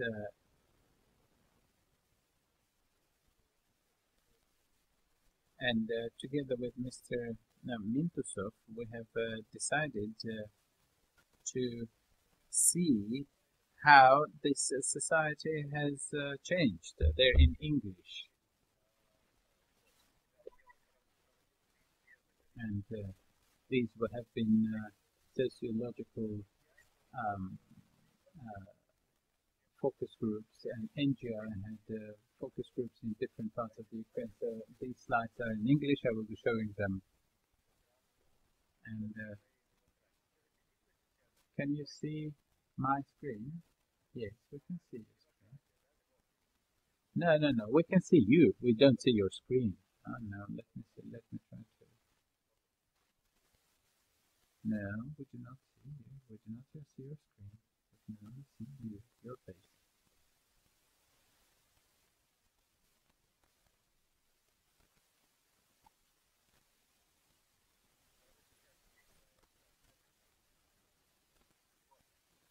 No English interpretation of these slides will be provided.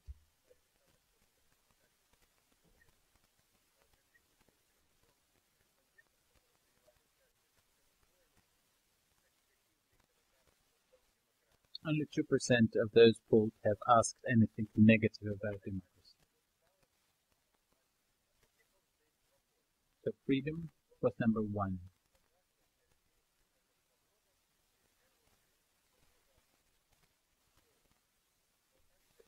freedom of speech.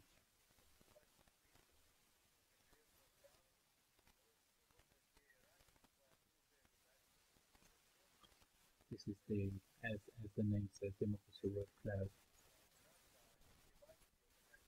The semantics of democracy. So we hardly have, an, have any non-democrats. This was a very well representative focus groups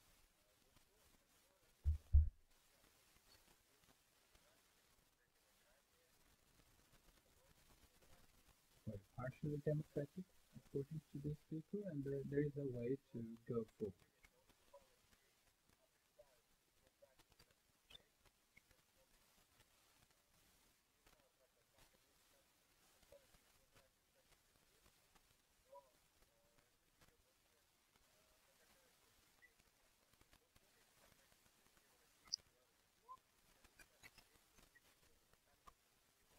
So is, is reviewed by and by many in comparative terms. We're more we in the Ukraine are more democratic than Russia, but less democratic than Europe.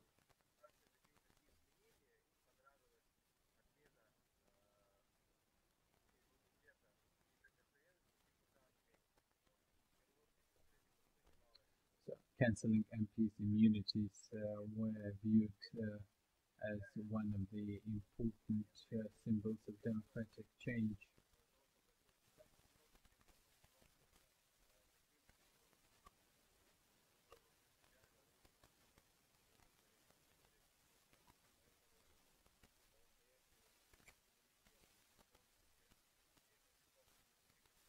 So, cancelling MPs' immunities, uh, um, however, may well uh, lead to quite an undemocratic uh, uh, changes whereby the MPs who do not have the support administrative resource or financial leverage may well be ousted if the nascent or the current um, uh, form of the Euro uh, Ukrainian uh, democracy follows a wrong path. A few words about the views of civic activists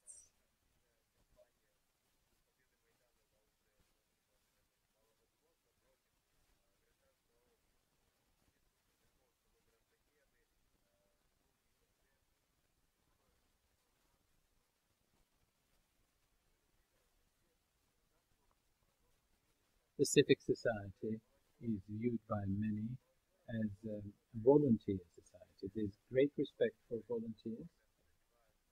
There's great, uh, there's a view that the volunteers um, support the army and that they have to go into the government.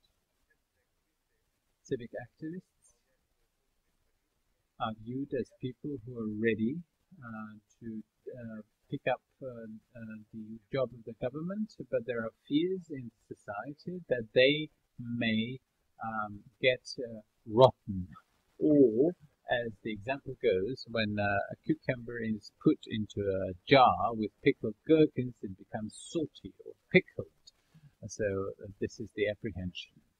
Talking about the electoral uh, um, processes, on the example of parliamentary elections, uh, let me show you the slide on the structure of the electorate of main parties by the age groups. Uh, the Radical Party, Pravi Sector,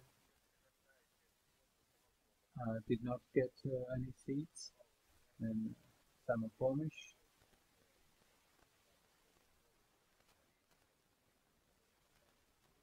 which uh, united uh, many uh, different people from uh, the so the communists were mainly voted for by the elderly voters and we can see the trend which is not particularly uh, which is not particularly uh, successful. Mr. Poroshenko's party is right in the middle.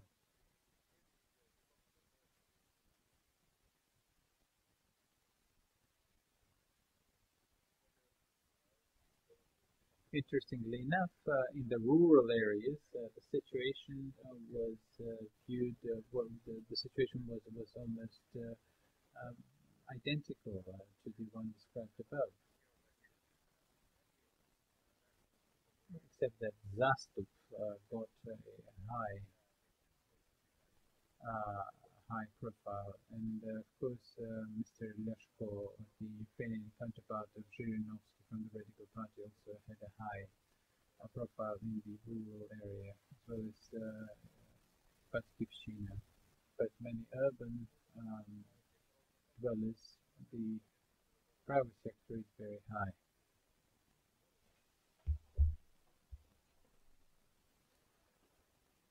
I have to tell you that it is not particularly easy uh, to find a topic which would unite people more than the idea of um, of uh, of uh, the support for the decision of the Russian Federation Parliament to send its army to protect Russian-speaking citizens of the Ukraine. So the number of people who do not support this idea went up to 89%.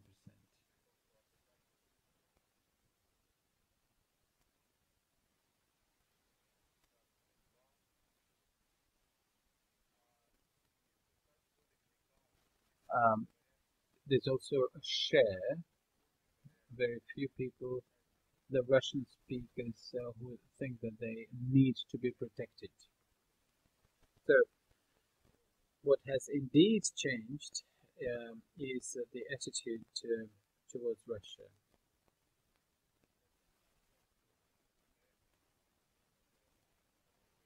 Especially uh,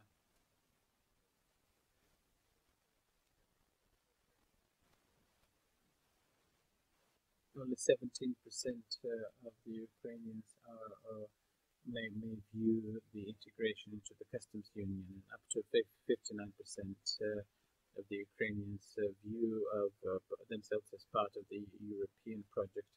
Well, in my view, uh, we have just uh, leaped into a vacuum from the post-Soviet space, and we do not seem to be um, uh, gathering uh, much strength in becoming an integrated part of the European project. But the electoral democracy in the Ukraine is has a very um, high uh, oligarchy uh, factor. But uh, interestingly, Mr. Kolomoisky, who apparently abused his authority and was was so for Mr. Kolomoisky, it ended with the with the dismissal. So the electoral uh, picture changed considerably. look at this uh, picture, the change of attitudes.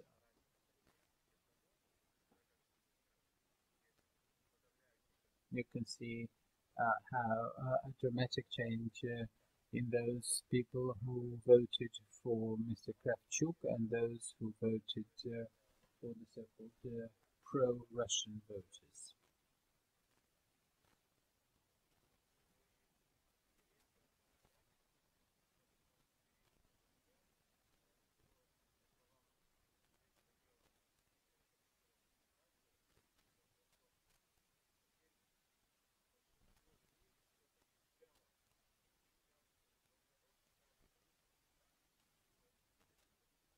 There's a big number of people, a growing number of people in the Ukraine who believe, of course, that the future belongs uh, on them only and the so-called locus control.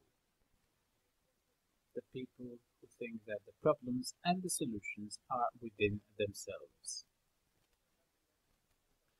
But uh, in terms uh, of uh, the institutions, it would be um, premature to say that we have democratized many of the practices. Our parliament has shown itself uh, to be a stable institution, it's true, which um, uh, was uh, able to abolish uh, the dictatorial um, laws.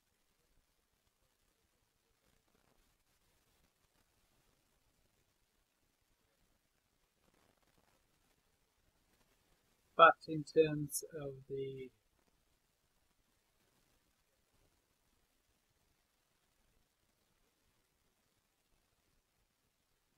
local uh, people, um, people of course are still uh, very immature in terms of using the democratic instruments and um, uh, and uh, they do not have a fair knowledge of what democratic procedure is. Interesting that Gromada is not uh, in itself a civic uh, um, and not a community. It's something.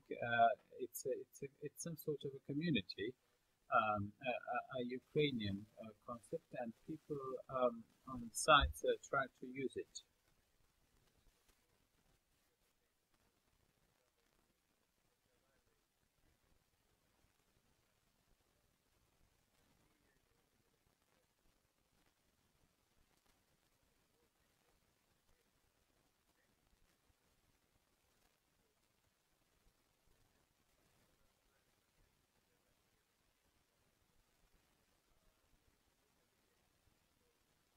In an interesting way. Many people um, have do not have much faith uh, in how they can use uh, the results of the reforms uh, in the municipal areas. So myself and many of my colleagues are trying to bridge the gap.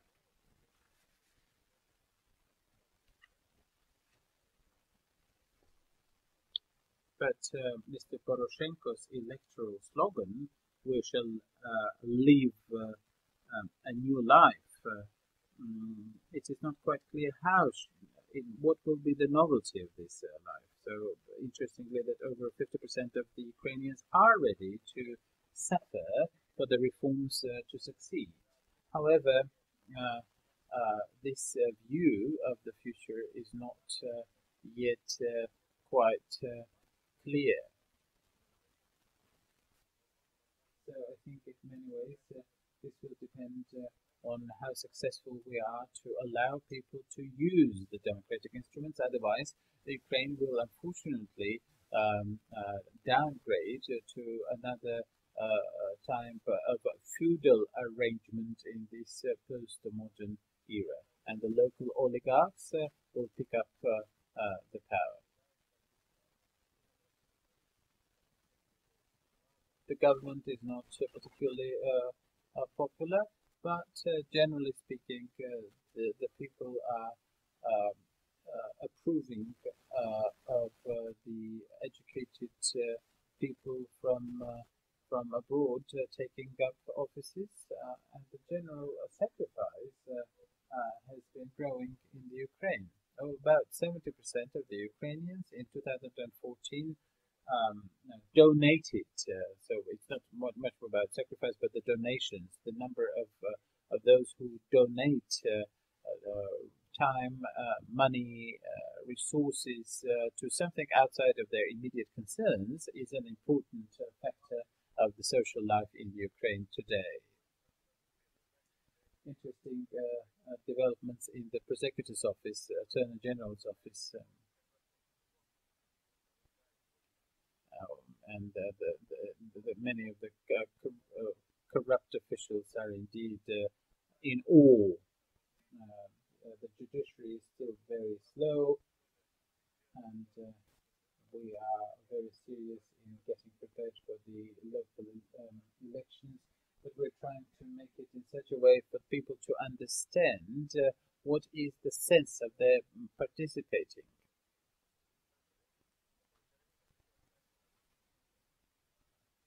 So there's this great gap uh, between uh, the society and uh, at large and the society itself.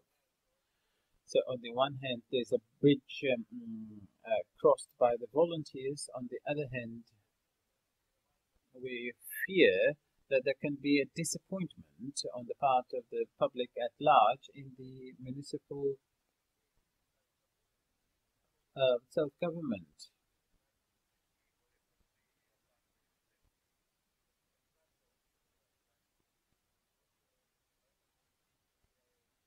So, uh, thank you very much, uh, so much so for the sociological palette of the Ukrainian system today. Uh, but we see very dynamic developments in the Ukraine. I wanted to ask you when uh, there's something to depart from for a country. Uh, this is not bad. To say um, Russia has uh, become a successive country it is difficult to depart from communism.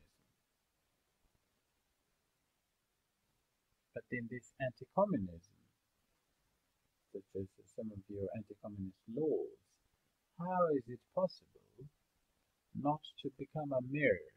Because anti-communism is not democracy.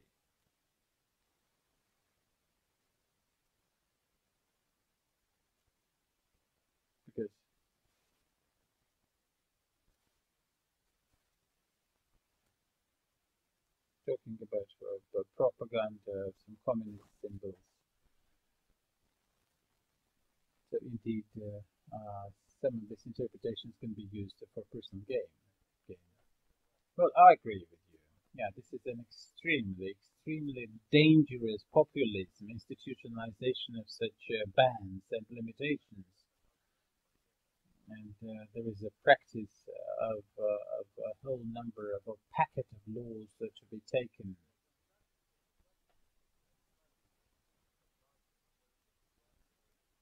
There's a great uh, temptation uh, to use uh, the slogan of war or, or because the, the, objective of any of any um, authority is, is authority and power is corrupting absolute power corrupts absolutely, and there is uh, Pashinsky and uh, criminalizing uh, the, the critic of the government and uh,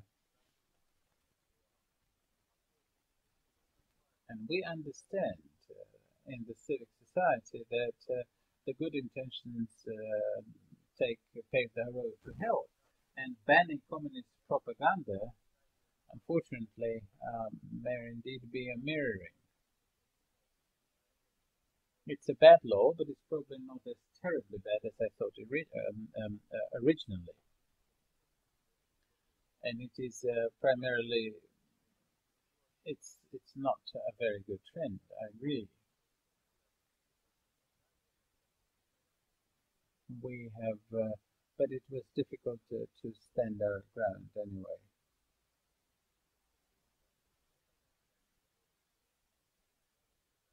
And we have to say that freedom of speech in this sense was very hard uh, because many people believe this to be an important um, step in the development of the country's political and social system. And we shall indeed try to uh, propagate um, uh, these uh, values of the freedom of speech. And I do agree with you, Svetlana, that there is this uh, zone of risk, a big rose zone of risk, uh, and hatred may unfortunately become such a factor. But indeed, I wanted to ask a question. Uh, can uh, democracy, is democracy possible in, uh, in a country at war? Mr. Grichenian from, from Novosibirsk uh, wrote a comment uh, mm, uh, compared with a neo-Bolshevist experiment.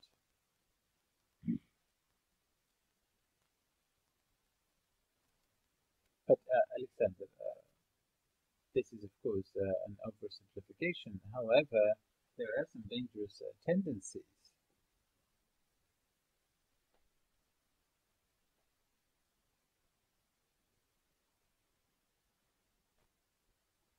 The point here is that uh, in, in our view, that people who may be associated with those who sympathize with the enemies are losing any rights, are ousted, and the society denies them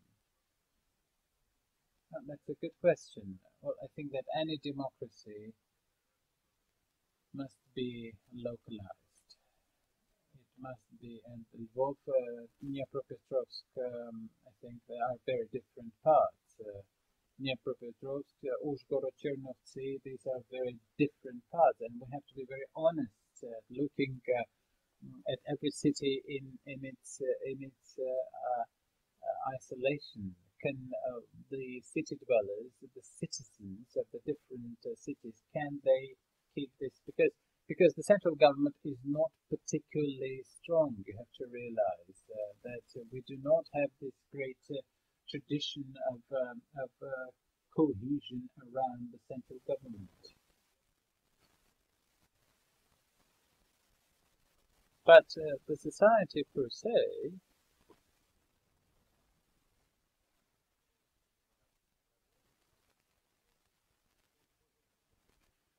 take the Facebook society.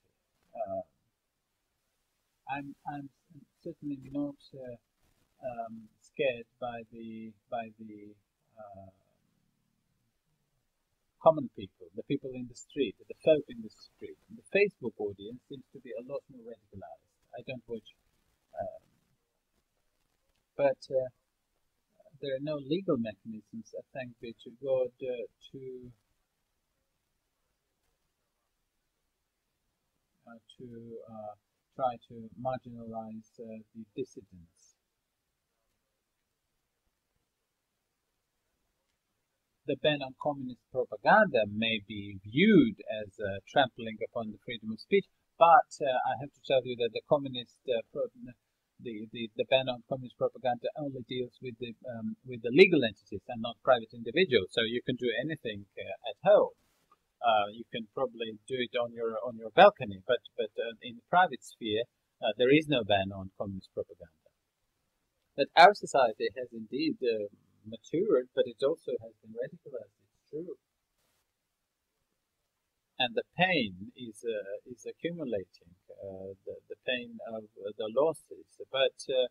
for a society at war and for a society at war on its own land is still quite liberal because uh, Martin uh, Luther King uh, only started to speak about the war against Vietnam uh, several months before he was killed. Before, he'd never even raised the topic.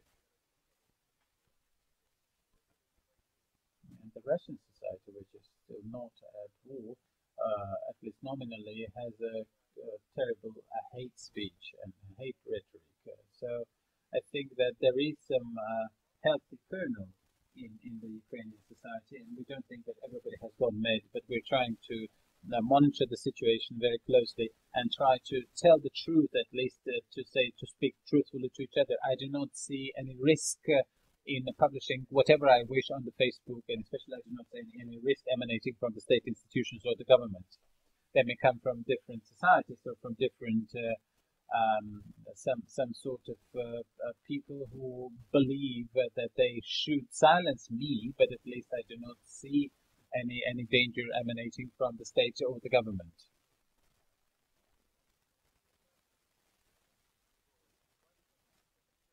So uh, it's not the state that is uh, trying to paralyze my social or political activity. In this sense, uh, Thank you very much. Thank you so very much, Andre. Well, I hope that the dialogue between our countries will continue and deepen. We only have 10 minutes, uh, and I would like to get back to Mikhail Minakov if he still hears us. Yes, I can hear you. If Mikhail could help us uh, to make uh, a conclusion.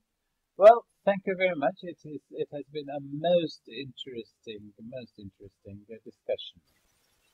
It is uh, um, a pity that we do not send, uh, sit around the true physical roundtable. I think that my primary conclusion that uh, we're seeing an interesting uh, confluence and uh, and rivalry between archaic and the modernity uh, the uh, modern processes and uh, and the pre-modern processes, and I think that this is what we have seen as a main thesis uh, in uh, my colleagues' interventions.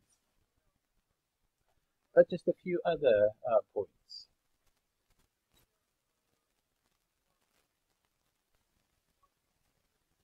An important subject has been um, raised by Pavel Koktushev which is important for, for, for Kazakhstan, Russia, Ukraine, that our political regimes, even in those places where there has been economic success, has not been able, have not been able to sustain the success. It's both a tragic and an optimistic note. So the Leninist uh, cynical statement about the worse the better can work.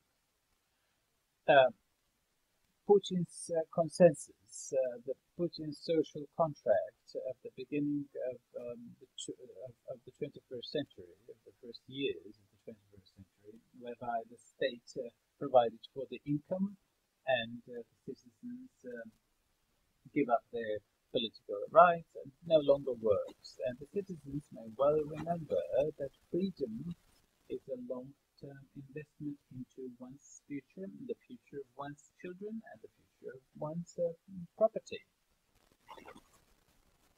And I think that uh, this is something that we're seeing in Russia, Kazakhstan,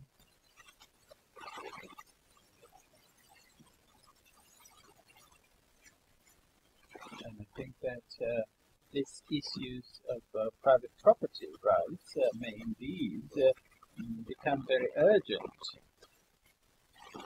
if, uh, say, uh, the uh, owners are disloyal to the government. And this is something that plays a big role in, in Russia too. I'm uh, following very closely the processes in Azerbaijan. Uh, the fall of the oil price uh, must indeed radically affect the regime and in Azerbaijan, and the um, intervention of our Armenian uh, colleague was very interesting, not only in uh, in uh, its radicalism, but Mr. Iskandaryan, I think, has emphasized um, very interestingly the dubious things such as uh, the conflict uh, between uh, the urban population and and the rural population. I'm indeed um, involved into an interesting project which is uh, trying to provide uh, for the equal rights between the cities and the rural areas, the doomed people, the people who don't have any any uh, access uh, to any services, the medical services, or, or, even the minimal services, how to bridge this terrible gap, how to rebuild the democratic regime not only in uh, the form um, and format of uh, freedoms and liberties, um, but also as uh, access to services.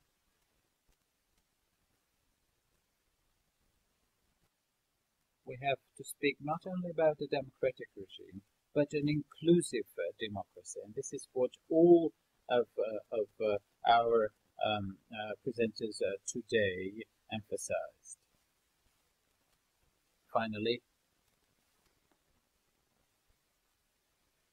I would like uh, to finish uh, these uh, remarks, conclusive conclu conclusion remarks, by the very important topic um, broached by Ales Mikhalevich, which is the individual experience of participatory democracy.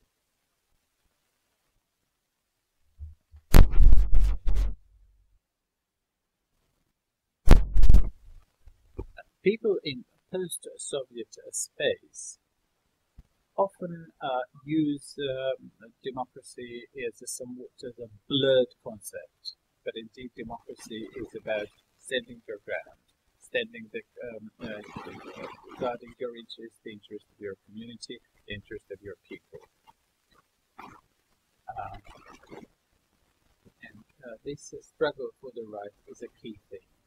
Uh, the uh, Maidan in Kiev uh, um, made indeed uh, the, the precedent of stopping an authoritarian rule, giving a chance to the society um, to start with the judiciary uh, of independence, and there is a window of opportunity and there is a decline. If in two years changes do occur, then uh, uh, the victory had not been uh, in vain. Georgia has a very interesting experience whereby the victory of the Revolution of Roses uh, led uh, to most important reforms. And um, while we in the Ukraine uh, speak about tendencies, mm, in Georgia, Saakashvili's group was able to to conduct uh, reforms. And indeed, in the Ukraine, there is a great uh, demand for this Georgian accent, as they say. So this uh, experience uh, is extremely important. And it is especially important uh, for this experience uh, to be shared. Uh, I hope uh, dearly that this will not that this is uh, not our last discussion, and I hope for this continuation of a polyphony.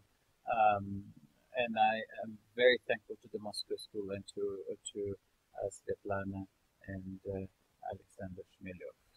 Uh, the founder of uh, the school, uh, Yuri Petrovich Senokosov, wrote, I remembered the end of the 1980s uh, the telebridges between between Russia and the United States. Uh, the perception of what we were seeing is a vivid and very bright feeling.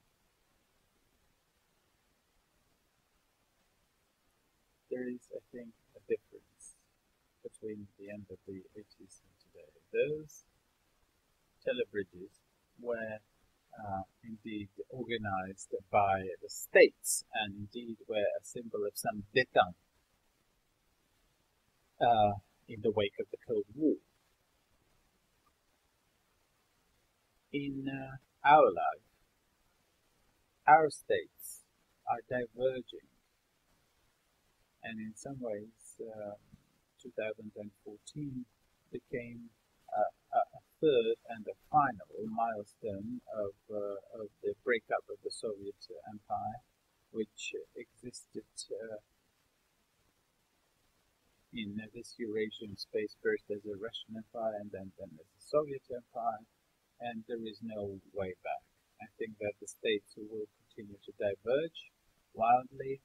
The relations will be, um, for better or for worse, uh, more and less complicated, but uh, I think uh, there is uh, an attempt and there is uh, there is a chance to try and conduct and to indeed strengthen the dialogue between the societies of these countries. Because in spite uh, of all the differences between our societies, the problems that we encounter are generally very close and similar. And I think that uh, I could uh, hear something very dear to me. So, the study of such experience, supporting contacts, is of, is of uh, greater and ever-growing importance uh, uh, if, uh, especially if the contacts between the states dwindle. So both as Mikhail and Svetlana I would like to express uh, a dear hope that this is not our last uh, um, polylogue and that we shall continue this in future. Well, I'm certainly um, sure that we cannot uh, take anything from one country to another country, but we can share the experience. We should not transplant the experience, but we should share the experience. And I think that this was an important meeting, an important teleconference for all of us. I hope that this is only the beginning uh, uh, of a polylogue uh, in uh, Mikhail Minakov's uh, apt definition. And I think we should be a civil society, not just own country, but indeed a planetary civil society. Life doesn't stop, and I think that um,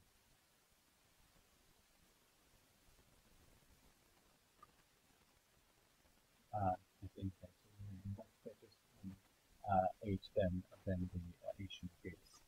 Um, I would like to thank first Alexei Shmelyov uh, because uh, uh, we've spoken about a generational uh, gap, um, but Alexei was born with a computer in his hand, so and thanks to that we are able to have this great benefit of this and I would like to thank Mark Delia.